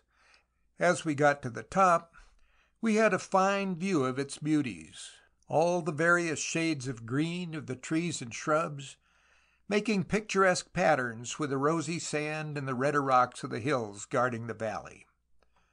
The soft notes of innumerable doves floated up on the cool evening breeze. A gorgeous red and gold sunset completed an ensemble not easy to forget. I stopped my horse and spent a pleasant half hour lying on a patch of soft sand, drinking in the delights of this little bit of paradise. It soon grew dark. The crescent moon showed herself, and far away I heard the Bedouins of my caravan singing. Reluctantly I rose and took the track again. We were soon in different country, broken and very undulating, with distant jagged hills surrounding us. The camels were suffering from the foul water of Aga, and so were the men. We camped early, both on this account and because it is dangerous country to travel by the weak moonlight. We dropped into a soft sand valley about 200 meters from our route and camped. We got up with the stars still in the sky on Tuesday, May 23, and made our start with a gorgeous sunrise on our left hand. We moved slowly because of the thick shrubs and scattered stones, and also because Mohammed and Herri had not been in this country for ten years and were picking their way cautiously. Mohammed is riding, I suppose, I said to Hamid, the camelman, as I walked in my favorite place behind the caravan, or we would not be moving so slowly. The gray-haired man is walking, O Bey, said the shrewd fellow quickly. His track is on the ground. Once more I was impressed with the keen observation of the Bedouins, especially the camelman. Hamid had already learned the characteristic footprints that each man of the caravan leaves. Of course he knew the track of each camel also. On Wednesday we were up much earlier than usual in our anxiety to reach the well of Enebeh. The water of Aga was the worst we had yet tasted, and it was having its effect on both men and camels. A three hours trek brought us to the edge of the valley in which the well lay. We dropped down into it, and discovered from tracks of sheep, donkeys, and men that the place was inhabited. Mohammed went forward to meet the men who lived there, and gave and received the aman, and soon we were camped by the well. The water was excellent, animals and men both enjoyed the change. There was quite a large Biddiat camp here, with hundreds of sheep and a few horses for the sheiks. Presently the whole population, led by the sheiks, came to greet us. I shook hands with them and distributed scent, putting a little on the hand of each one. In the afternoon they brought sheep as diafa, and the women, who have a keen business sense, produced sam, butter, and leather to sell to us. We gave them medjidies and cloth in exchange. In the evening I took observations. The Biddiats were frightened at the theodolite and the electric torch, and their suspicions were aroused. One of the sheiks entered my tent and caught me opening the instrument case. I shut the case quickly and instantly realized my mistake. I could see in his dark, cruel face, with yellow eyes like those of a fox set close together, that he believed I had gold in the box. As he left my tent, I ostentatiously ordered Senussi bu Hassan and Hamid to stand as sentries in the camp. I pointed to them and told the sheik not to allow the women and children to approach the camp at night lest my men might mistake and shoot at them. It was just a hint that we were wide awake and that there was no hope of catching us off our guard. I could see that the hint went home. End of section 18.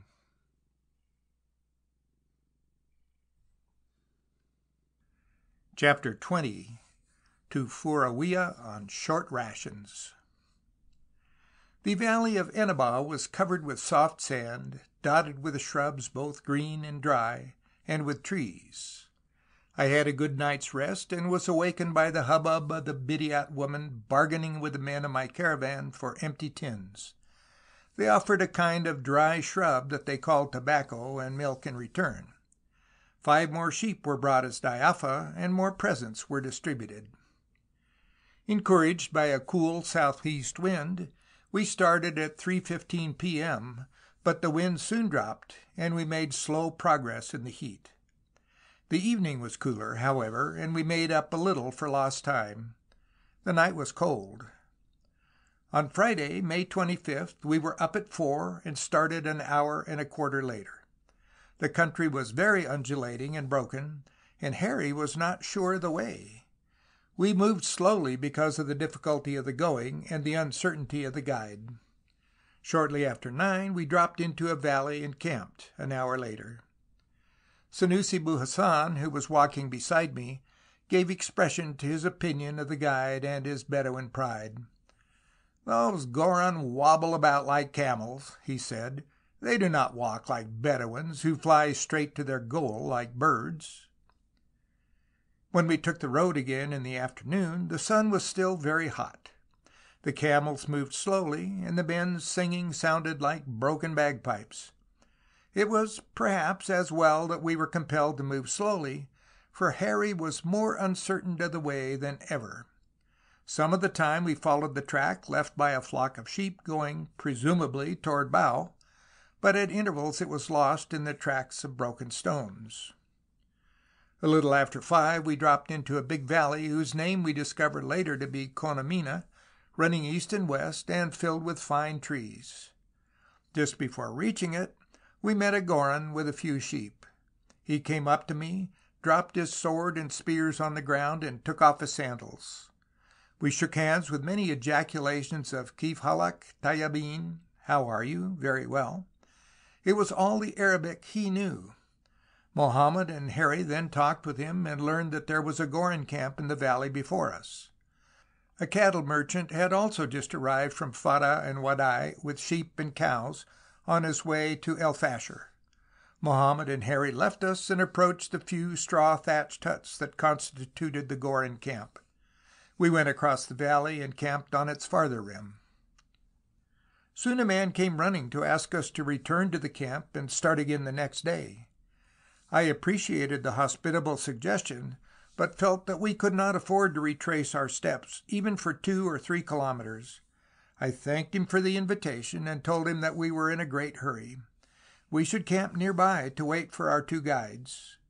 An hour later Mohammed appeared, full of news from Fara and El Fasher, obtained from the merchant. We were busy that evening overhauling our baggage and repairing damages. All the ropes were getting worn, and the Bedouin woolen bags, too. We had been losing much time on the way, with reloading and shifting things about. But it was a consolation to know that in a fortnight we should be in El Fasher. We had the most beautiful sunrise on May 26 that I have seen. The brilliant white light on the red and black stones near by and the distant hills made everything wonderfully clear and distinct. Soon it changed to a warm red glow, and then the golden rays of the sun broke through the thin clouds and flooded everything. The long shadows cast by the rocks and shrubs on the ground looked like black stenciling on the yellow sand. The shadows of the slowly moving caravan made a fantastic pattern. It soon proved to be an oppressively close morning. Herri joined us later in the afternoon with the slaughtered sheep slung on each side of his camel, the dayafa from the Gorin camp. We followed sheep and camel tracks and marched from one valley into another until we camped in one of the largest of them, which had many shady trees. It is always a problem whether to stop under the shade of a tree and suffer the attacks of white ants and all sorts of sinister looking insects, or pitch tent in the broiling sun. In the future I shall be inclined to take my chance in the open, as the insects are always with you, while the sun's heat is over by five or six in the afternoon. The valley in which we camped is called Cap Turku. We started again at four, with a southeast breeze that made walking not so tedious. There were also a few clouds which tempered the heat of the sun. The camels walked better. In the late afternoon we passed a Gorin family, a man, wife, a naked child, and later we found a well. It was seven meters deep and had good water, though the roots of a nearby tree had rotted in it, giving it an unpleasant odor. We camped at eight, fortunately in a clear space, free from shrubs and stones. At one in the morning a hyena visited the camp, and had it not been for the vigilance of Hamid, the camelman, it might have got Baraka, who was tied at night and therefore unable to defend himself. Hamid fired at it impulsively, and with my glasses I saw a dark object running far away in the brilliant moonlight. Sunday, May 27th. Start at 5.15 a.m., halt at 9.15 a.m. Start again at 3.45 p.m., halt at 7.45 p.m. Make 30 kilometers. Highest temperature 38 degrees, lowest 7 degrees. Fine, clear, and calm in the morning. At midday, strong, hot southeast wind, which drops in the afternoon. Few white clouds, warm and calm in the evening. Very cloudy, with a few drops of rain at 10 p.m. Valleys of soft sand as before, with low sandstone hills 20 to 80 meters high. Patches of the same stone crop out through the sand. Herri proved himself a bad guide. He predicted that we would reach Bao this morning, but when night came we were not yet there. He knew the places when he saw them, but his sense of direction was faulty. Our water had given out, except for one last gerba, and it was very hot. We marched until 7.45, when we reached rocky ground, dangerous for the camels even in the clear moonlight. We were on the edge of a large valley, which Herri declared to be that of Bao, but we could not believe him. Experience had taught me not to permit the last of the water supply to be used until we had not only seen the well, but approached it to make sure that there was drinkable water there. I insisted that the last gerba should not be touched that night, We went to bed without dinner, since we could not cook without water. There was, however, the consolation of a beautiful night. I lay in bed watching the play of the moonlight on the clouds. A few drops of rain announced the approach of the rainy season. We were astir early. Empty stomachs do not encourage long sleep. We drove the camels as we had not driven them before. How tired they looked and how weak! When camels and men are hungry and thirsty, all the other defects in the caravan come out. There was no singing that morning, merely silent, relentless urging forward of the camels and ourselves. The descent into the valley was steep and dangerous. Three camels threw off their loads, which had to be carried by the men down to the level ground and loaded again. At last we saw a few sheep and a straw hut or two. We stopped, and I let the men drink the water from the last gerba, for which they had asked many times that morning. Herri and Mohammed went ahead and made their way to the huts. The caravan, meanwhile, moved directly down the valley toward the well. Soon some blacks of the Gorin and Bidyat tribes came to meet us. We fired our rifles as usual, as if in salutation, but in reality to impress the natives with our preparedness. I noticed that by a curious coincidence those who met us, men and women, were all old. There was not a single young person among them, especially no young woman. However, it did not strike me as extraordinary, but a little later I was surprised to see batches of slim and beautiful girls, brown or black, half naked in their tattered clothes, holding themselves gracefully erect. As they came along in groups of three or four, I turned to Bukhara and asked, "From where are these girls?" Bukhara looked at them with great admiration, and replied, "Allah be great! These are the girls of the village. They thought we were going to rob the village and take away the young girls as slaves, so they sent them out to hide as soon as they sighted our caravan. Now that the men know that we are a peaceful caravan, they have sent word to the girls to come back."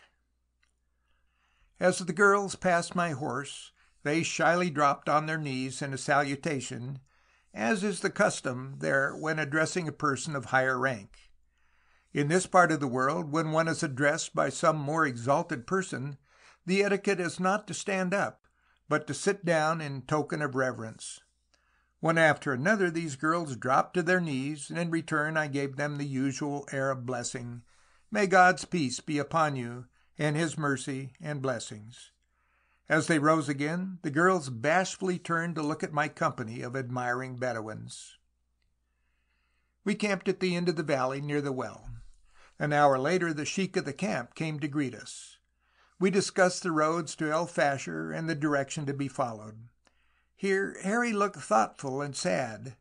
This was close to his own country, for we were across the frontier of French Wadai now. He had thrown away his rights and run away from the French leaving all his property and relatives, and gone to the solitary oasis of Uinat to live in self-inflicted exile. We were getting into a different kind of country. There were many more varieties of birds, including crows, owls, parrots, doves, and others whose names I do not know. In the night a lioness had killed two donkeys, and some of the natives captured one of its young and sent its skin to Fata to be sold. There are several score of blacks of the Gorin and Bidyat tribes at Bao. The women are graceful creatures, clothed with the utmost simplicity. Their dress is either a length of cloth wound skilfully around the body, with a narrow strip of cloth for a belt, in which is carried a small knife, or a sheepskin wrapped around the lower part of the body. Their hair is arranged in small plaits. They wear ornaments of silver and ivory, heavy rings in their hair, and bead and amber necklaces. Young girls wear only an apron of cloth or leather. The men have splendid physique, go naked except for a loin cloth, and carried two or three spears, a sword, and a throwing knife. Only sheiks wear white robes and large turbans. We gave the women and children macaroni, but they refused to eat it. Instead, they threaded the pieces on strings and made necklaces, which they wore proudly. The business instinct of the Bedouins at once displayed itself. They made necklaces from our little store of macaroni, and exchanged them for butter and leather. Herri and Mohammed were to leave us here. They did not care to venture further south. I had some difficulty in finding a guide to take us to Furawia, but at last succeeded. A sheep was brought to us as diafa, and we dined early on Tuesday, intending to make a prompt start in the morning. The guide did not present himself, and I began to feel that the Bidyat were suspicious of my caravan. At 11 p.m. he appeared, however, and I immediately woke the men and set them to loading the camels before he had any chance of changing his mind. Wednesday, May 30th. Start at 1 a.m., halt at 8.30 a.m., start again at 4.15 p.m., halt at 7.15 p.m. Make 40 kilometers. Highest temperature 36 degrees. Fine and clear. Strong and dusty southeast wind. The wind changes to northeast in the afternoon and drops in the evening. Country same as before, except flatter, and with no large valleys and no big trees. At 8.15 a.m. across a small wadi running east and west. When we started at one o'clock there was a beautiful moon, which made it as clear as in daylight. Herri and Mohammed started with us, as they wished to give the impression to the men about that they were going with us to El Fasher; otherwise they feared that they might be waylaid. In an hour we had climbed out of the valley. We halted to say good bye to the two guides, who were going to travel only by night on their way back to Uinat, to avoid detection. As I stood a little apart from the caravan in the moment of farewell to them, I realized that the difficulties through which we had come had drawn us close together. Mohammed was tall, erect, with a piercing eye and an interesting illustration of the self assurance that life in the desert gives and the fatalistic resignation with which one accepts whatever comes. Herri was a gentle mannered, unassuming old man with a benign smile and charming manners. There was unquestioned dignity in his movements in spite of an injured left foot which he had to drag when he walked. He was a prince by nature. This was not merely a parting of companions of the trek, but a symbol of the old having run the race, pointing the onward road to the young. We all forgot that I was head of the caravan and they my guides. Herri put his hands on my shoulders and spoke with feeling in his voice. "May God bless you and give you strength," he said. "There is your road. He pointed to an opening in the distant hills. I murmured a few words in a voice I could scarcely trust not to tremble, and turned away to my caravan. The two dignified but somehow pathetic figures, both exiles from their own land, faded away in the moonlight. We halted at dawn for our morning prayers, and at 8.30 to camp for the day. There were tracks of lions about. We started again early in the afternoon, but the men were tired, having had little sleep the previous night, and we marched only three hours. The sheep which had been given us escaped, and in the moonlight Hamid and Saad went after it, bleating like sheep themselves to attract it, but with no success. Thursday, May 31st. Start at 3.45 a.m. Halt at 8.45 a.m. Start again at 3.30 p.m. Halt at 7.30 p.m. Make 36 kilometers. Highest temperature 37 degrees, lowest 5 degrees. Fine, clear, and calm. Southeast wind in the afternoon, which changed to northeast and dropped toward evening. Calm evening and night, with full moon and a few white clouds. An uneventful day. Shortly after an early start on Friday, June 1st, the guide got sleepy and lost his head. We were soon traveling due west instead of southeast. I did not interfere until we stopped for morning prayers at five, but then I asked him quietly if he had intended to march to the westward. He was surprised, but admitted frankly his error. Fortunately we had not been going wrong for long. At 6.30 we passed a hill called Tamira on which stood a dry tree marking the boundary between Wadai and the Sudan. From the boundary post we dropped into Wadi Hawar, a large valley full of big trees which is said to extend westward to Wadai and eastward toward the Sudan. In Wadai it is called Wadi Hawash. The soil in the wadi is very fertile, and the men from Wadai and Darfur come to it in the autumn for grazing. We camped here for the midday halt, and found tracks of giraffe. In the afternoon we walked through high, dry grass as though through a great field of ripe corn. The men of the caravan were getting worn out, all the more as clothing was tattered, shoes at the last gasp, and to add to our inflictions we had much trouble with hashkanit, a small, very hard hook thorn which grows on a low bush and attaches itself to whosoever brushes against it, when it is extremely difficult to extract. I heard Bukhara describing to Hamid a giraffe and an elephant. The giraffe, he said, has the head of a camel, the hoofs of a cow, and the hind quarters of a horse. His word picture of the elephant was grotesque and much exaggerated to impress the man from the north. We made a very early start on Saturday, June 2, to make sure of reaching Furawia that day. At 5 a.m. we passed on our right the landmark of Hagar Kamra Ra, ten kilometers away, and an hour later passed another, Hagar Urdu, a hill about 80 meters high and 200 meters long. Hagar is the Sudanese word for Gara, or small hill. Then we started dropping into the valley of Furawia. It was the largest valley and the most inhabited that we had come across. Its people are Zaghawa and a few Bidyat. We camped at nine near Bidyat Camp, and soon heard the distressing news that no food was to be obtained at Furawia. This was contrary to my expectation. I made haste to find a messenger to take a letter to the governor of Darfur at El Fasher, asking him to send me provisions and cloth to clothe my men, who were in rags. After much hesitation, caused apparently by fear of my men, the Zaghawa sheik of a camp near by came, driven by curiosity, to visit us. He was under the Sudanese government, and I pounced on him and offered him three pounds to take a letter from me to Savile Pasha, governor of Darfur.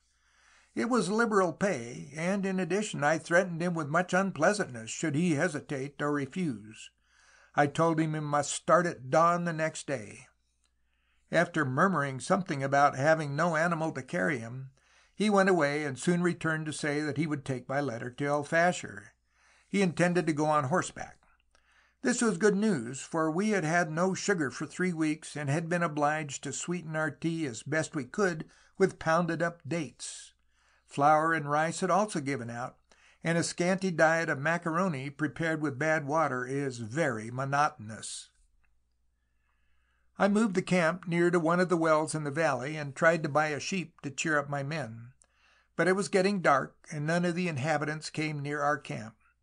We watered the camels and settled down for the night, not very well satisfied with life. I was suddenly surprised to hear my men singing, and apparently as cheerful as though they had had a good meal. I called Zerwali and Bukhara over and asked them what was the singing about when there was no sugar and little food, and things were generally disagreeable. We can breathe now, answered Zerwali. We have entered the Sudan and feel ourselves at last in safety. Were you so fearful, then, of this journey we have made? I asked. At Kufra, all our relations said we were walking to our fate when we took this road, explained Bukhara. Your fates are written, they said to us, but may God protect you. We wondered if perhaps they might not be right. You heard at Kufra, said Zerwali, how some people offered you encouragement to take this route, while many advised against it. Those who favored it were malicious men who simply hoped that they would never see you again. It was then also that Zerwali, who, now that we were nearing the end of the trip, felt himself more free to talk, told me that the houses of Sadaida and Jehilat of the Zawaya tribe at Hawari and Kufra had strongly resented my second visit and held a meeting to discuss the best means of either destroying the caravan or preventing me from coming back. Then I realized what pluck it had taken for these men to come with me by the strange and unknown way without a murmur of protest. I was proud of them. At 2 a.m. Hamid, who was acting as a sentry, woke me to say that the messenger had arrived and was ready to take my letter to El Fasher. Two letters were all written and ready under my pillow, one to Savile Pasha and the other to the officer in command at Kutum, the outpost on the way to El Fasher, asking him to make sure that my letter to El Fasher reached its destination. I was glad the messenger had come so early. The sooner we got new supplies, the happier we should all be. I promised him a few extra dollars if he would deliver the letter to El Fasher in four days. I bade him a very warm Godspeed, and watched him ride off in the moonlight on quite a strong if ragged looking horse. End of section 19.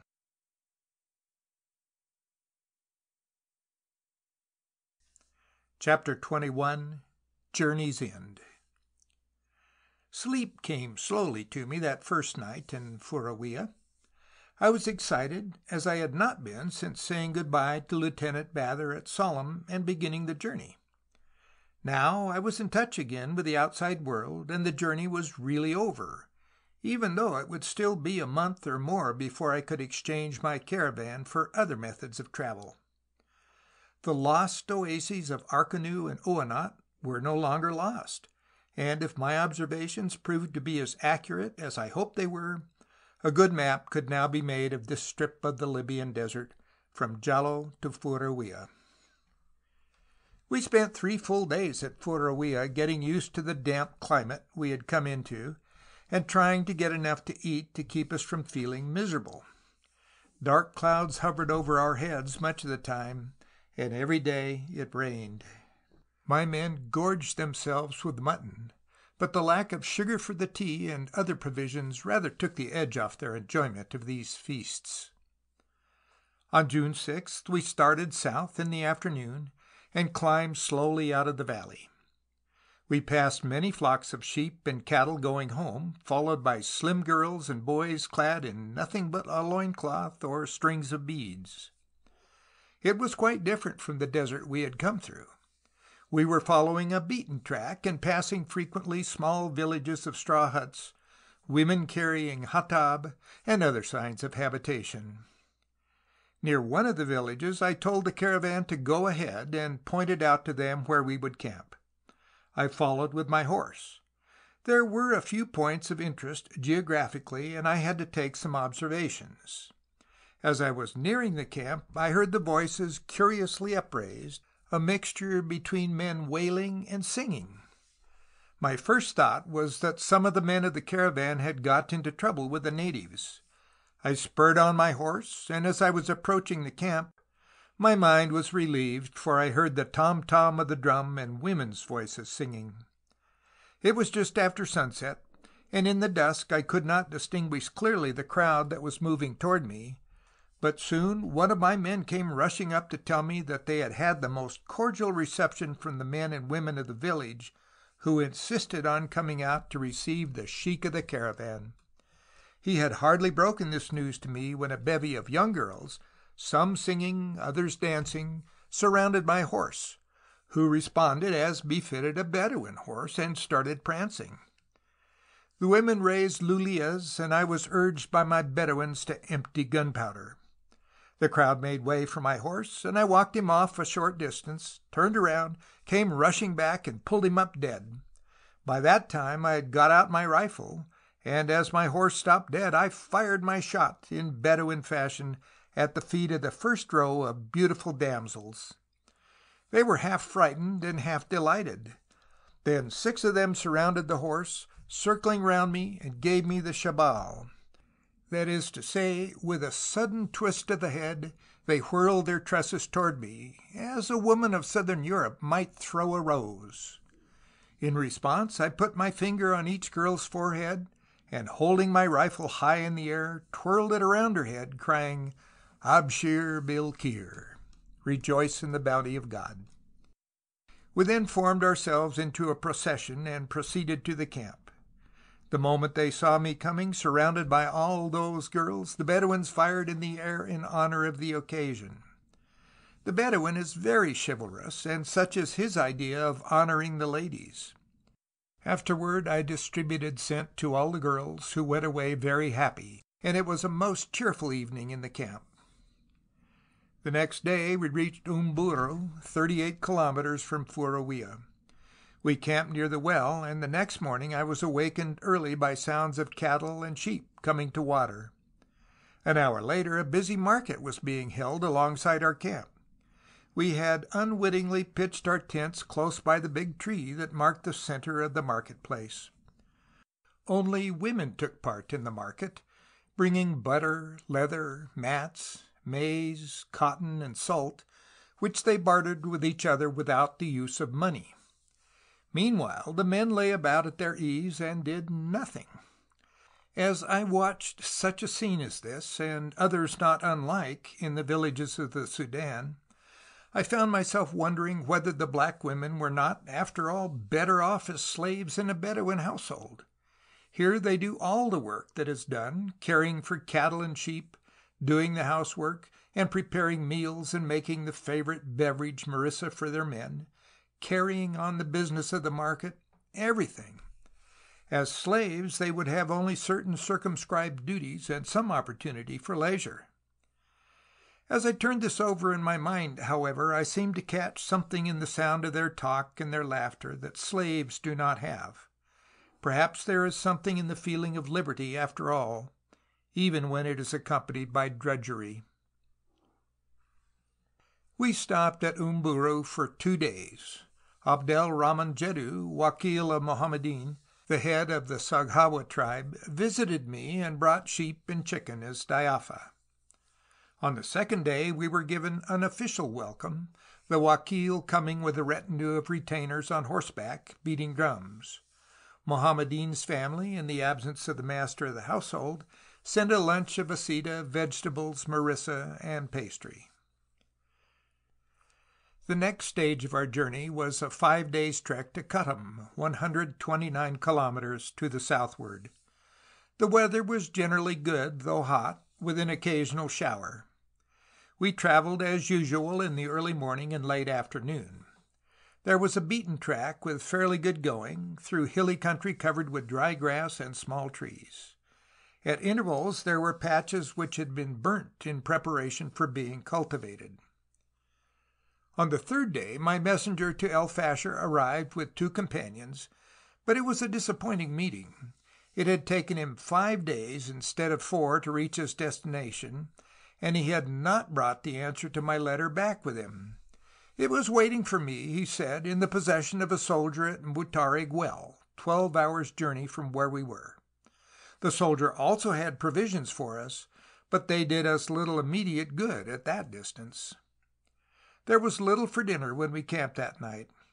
After dinner I sent our guide off post haste with orders to ride all night until he reached Mutarig. There he was to tell the soldier to come to us as fast as he could. We started before four the next morning, and in an hour the men came rushing to me with the news that there was a soldier ahead on a camel. In a few minutes I had a letter from Charles Dupuis, acting governor of Darfur, in the absence of Savile Pasha, who had resigned from the service, and a small supply of rice, flour, teas, and sugar. I was especially pleased to be handed a supply of cigarettes. I had not smoked since soon after leaving Erdi. At Uinat I had suddenly realized that there were only a few cigarettes left. I then laid down a strict rule for myself one cigarette a day after dinner. It was hard work, waiting all day for that brief smoke, but it was worth it when the moment came. I would get into a sheltered corner, light the precious cigarette, and shield it carefully from any breath of wind that might make it burn ever so slightly faster. When the few cigarettes were gone, there was nothing left but memories and expectation. Now, at last, the expectation was gratified with a vengeance for I smoked until my throat was sore.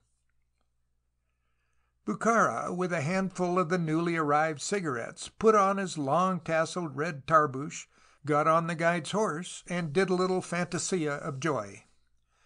But it was when we camped at the government rest house at Maharig that general rejoicing broke loose, with singing and dancing. The corporal, looking on while the men set the sugar loaf on the ground and executed a wild dance about it, thought us all a little mad. "Why all this rejoicing?" he demanded. "Because for a month we have had no sugar, and now our tea is sweetened again," said Abdullahi. Until one has tried going without any sugar whatever, one does not realize how keenly it will be missed. The corporal shook his head and smiled. "I must return at once to Kutum and bring you more provisions," he said. "We never realized that you were so short of food." Before he left he was kind enough to go to a camp near by and bring us a sheep and butter which were to be paid for by the Moawian of Kutum, since the seller refused to accept Egyptian paper money. The corporal then left with letters from me for Mr. Dupuis and the Moawian, the deputy governor of Kutum. The provisions which he had brought us were good as far as they went, but we should very soon be in need of more. I decided to push on at once. We made our midday halt at the government rest house at Maharig Well, and our stop for the night only a few kilometers farther on. The camels were in very bad condition. The backs and sides of some of them were sore and bleeding, and two camels refused to move until their loads were taken off. It rained for an hour that evening, but it could not dampen our spirits. The men sang and danced around a big fire. The humidity and the smell of the wet grass reminded me of my walks in English country. We made an early start the next morning in order to reach Mutarig well for the midday halt. We lunched at the rest house near the well and received a visit from the Sheikh of Mutarig, who brought a few chickens as diafa. He wanted us to stop the night so he could entertain us properly the next day, but I felt the necessity of going on as fast as possible. The camels were getting steadily worse. We had to leave one of them with the sheik of the village on the understanding that if it recovered he was to get a quarter of the price it brought when sold, while if it died he was not to be held responsible. An hour and a half after starting the next day, another soldier on horseback appeared. He brought a letter from the Moawian of Kutum and a small quantity of rice and sugar. They are gratefully received, for once more we were on short rations and without sugar for our tea. I gave him a letter to take back to Kutum. A little later we camped in the small valley of Boa. In the afternoon, soon after we had started again, it came on to rain with a strong southeast wind, and I thought it might be wise to camp until the storm was over. But through my glasses I made out ahead of us a row of straw huts of the Markaz, the government house, of Kutum, and spurred on by the sight, we drove the camels faster. Soon a group of horsemen were seen approaching us, and my Bedouins impulsively raised a cheer. When I recognized the uniform of Sudanese troops, it was the most cheering sight that I had seen for many weeks. Riad Abu Akla Effendi and Nasr el Din Shaddad Effendi, the two Moawians of Kutum, approached with a detachment of ten soldiers, the cadi, the head clerk, and other officials and notables of Kutum. I shook hands warmly with them all, and under their escort the caravan moved on through the village. As we approached, the Markaz women, clothed in white and beating drums, greeted us with singing and lulias. We settled ourselves in and about the rest house, and the women came again to offer greetings. In a long line they sang and danced, much to the delight of my Bedouins, who asked permission to empty gunpowder in acknowledgment of the courtesy. I could not refuse my consent, and one by one, beginning with Bukhara, the men performed the ceremony of singeing the girls' slippers. The Sudanese women were not so accustomed to the Bedouin manner of paying homage as the girls of the northern desert, and flinched a little as the powder flashed at their feet. But they accepted it all in good part, the whole line swaying and dancing to the rhythm of the drums, while one of my men singled him out for the slipper singeing honor. It was a wonderful reception, and the pleasure of it dispersed like magic the fatigue and lassitude of the journey. More hospitality was to come.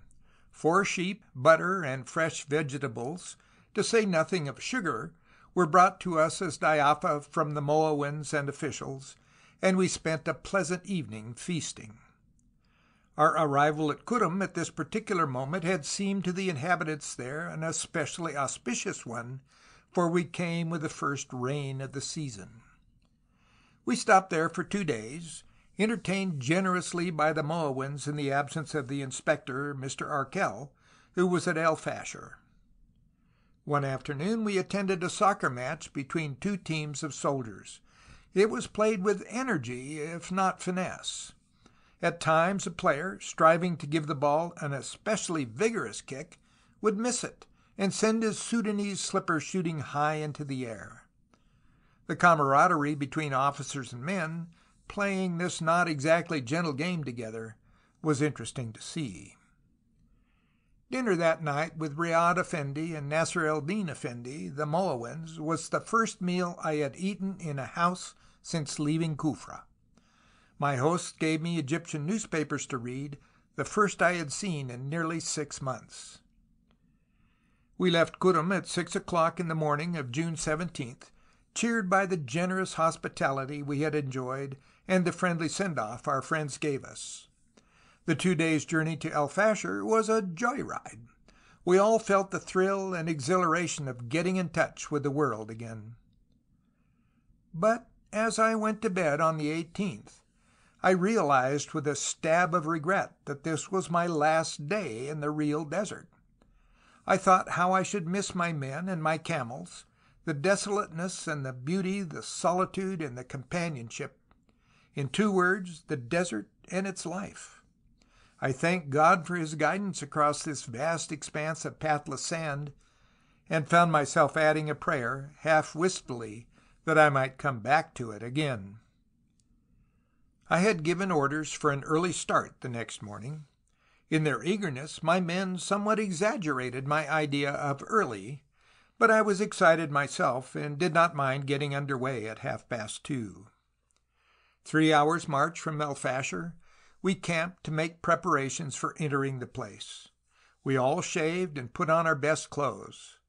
Mr. Dupuis had sent a supply of white cloth to Kutum for us, and my men were able to appear once more in decent raiment. They crowded around my remnant of a mirror to see how they looked. Rifles were cleaned, and the luggage, which was in a very shabby state, was tidied as much as possible. I wished that I might be able to do something for the camels as well, which were thin and dejected looking, but rest and attention to their sore backs were what they needed, and we had no time or facilities for giving them that. Nevertheless, they too seemed to be infected with the spirit of eagerness felt by all of us, and walked forward briskly. Abdullahi and Zerwali got into their silks, and the caravan moved gaily toward its destination. As we reached the outskirts of El Fasher, cheers of rejoicing arose throughout the caravan. A cavalcade of men in khaki was coming toward us. I put spurs to Baraka, and he responded willingly. He saw the horses before us, pricked his ears forward, and dashed toward them. Mr. Dupuis came forward on his horse to meet me, and we shook hands warmly. The greetings were repeated by the English and Egyptian officers of his staff, and we went on to his house, a part of which he generously made over to me and the men of my caravan. The weary camels were promptly taken in hand by Bimbashi Andas, who gave them food, water, and the medical treatment for their wounds they so much needed. The officer in charge of the wireless station kindly got me the exact Greenwich time from Paris by radio. I was pleased to discover that my chronometer had lost only 23 minutes and 23 seconds in eight months. For ten days I was the guest of Mr. Dupuis, and was lavishly entertained by the officers and officials of the garrison, both English and my own compatriots, and the notables of the town. Hospitality was showered upon me, and every kind of assistance that could possibly be needed was eagerly rendered. This was civilization again. I enjoyed once more the luxuries of life, especially vegetables and fruits. It is only when one has gone through the austere regime of the desert that one looks upon these things as luxuries and not necessities. There was in particular a brand of prunes, the pride of Major Smith and of peculiar lusciousness. He called them If Winter Comes, and I have never tasted their like anywhere. At last the day came when I must take leave of my companions of the trek from Kufra. When Bukhara and his brother and Hamid and Senussi Bujaber came to my room to say good bye, it was a moment full of real emotion and crowded with memories. These rugged men of the desert burst into tears, and I found my own eyes wet. We had been through thick and thin together, and came out fast friends. I could never wish for better companions on a journey into desolate regions, more able, more manly, or more loyal. We read the Fatiha, the sound of the familiar sacred phrases punctuated by Bukhara's sobbing. I exchanged a final handclasp with each of them, and we parted, to meet one day, I hope, in that desert that I love as much as they. One more camel trek before me eastward to El Obeid. There I took train for Khartoum, and thence home to Cairo, where I arrived on August 1, 1923.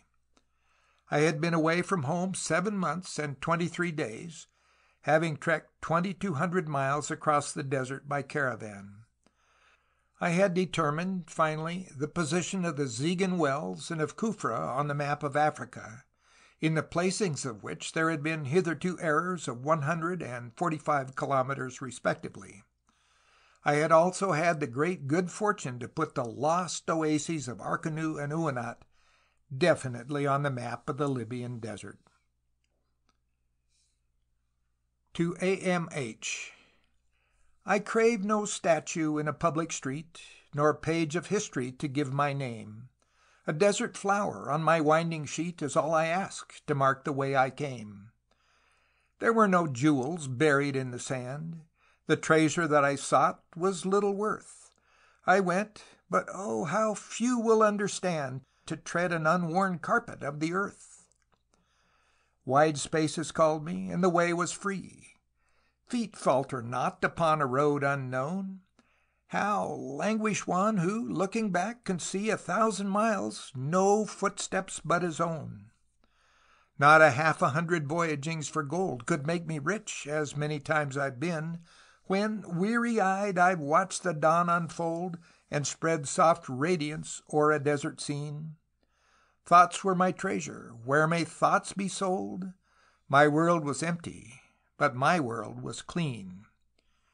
G. F. Foley, El Fasher, June 30, 1923. End of section 20. Read by Stephen Seidel. End of The Lost Oases by Ahmad Mohammed Hassanein.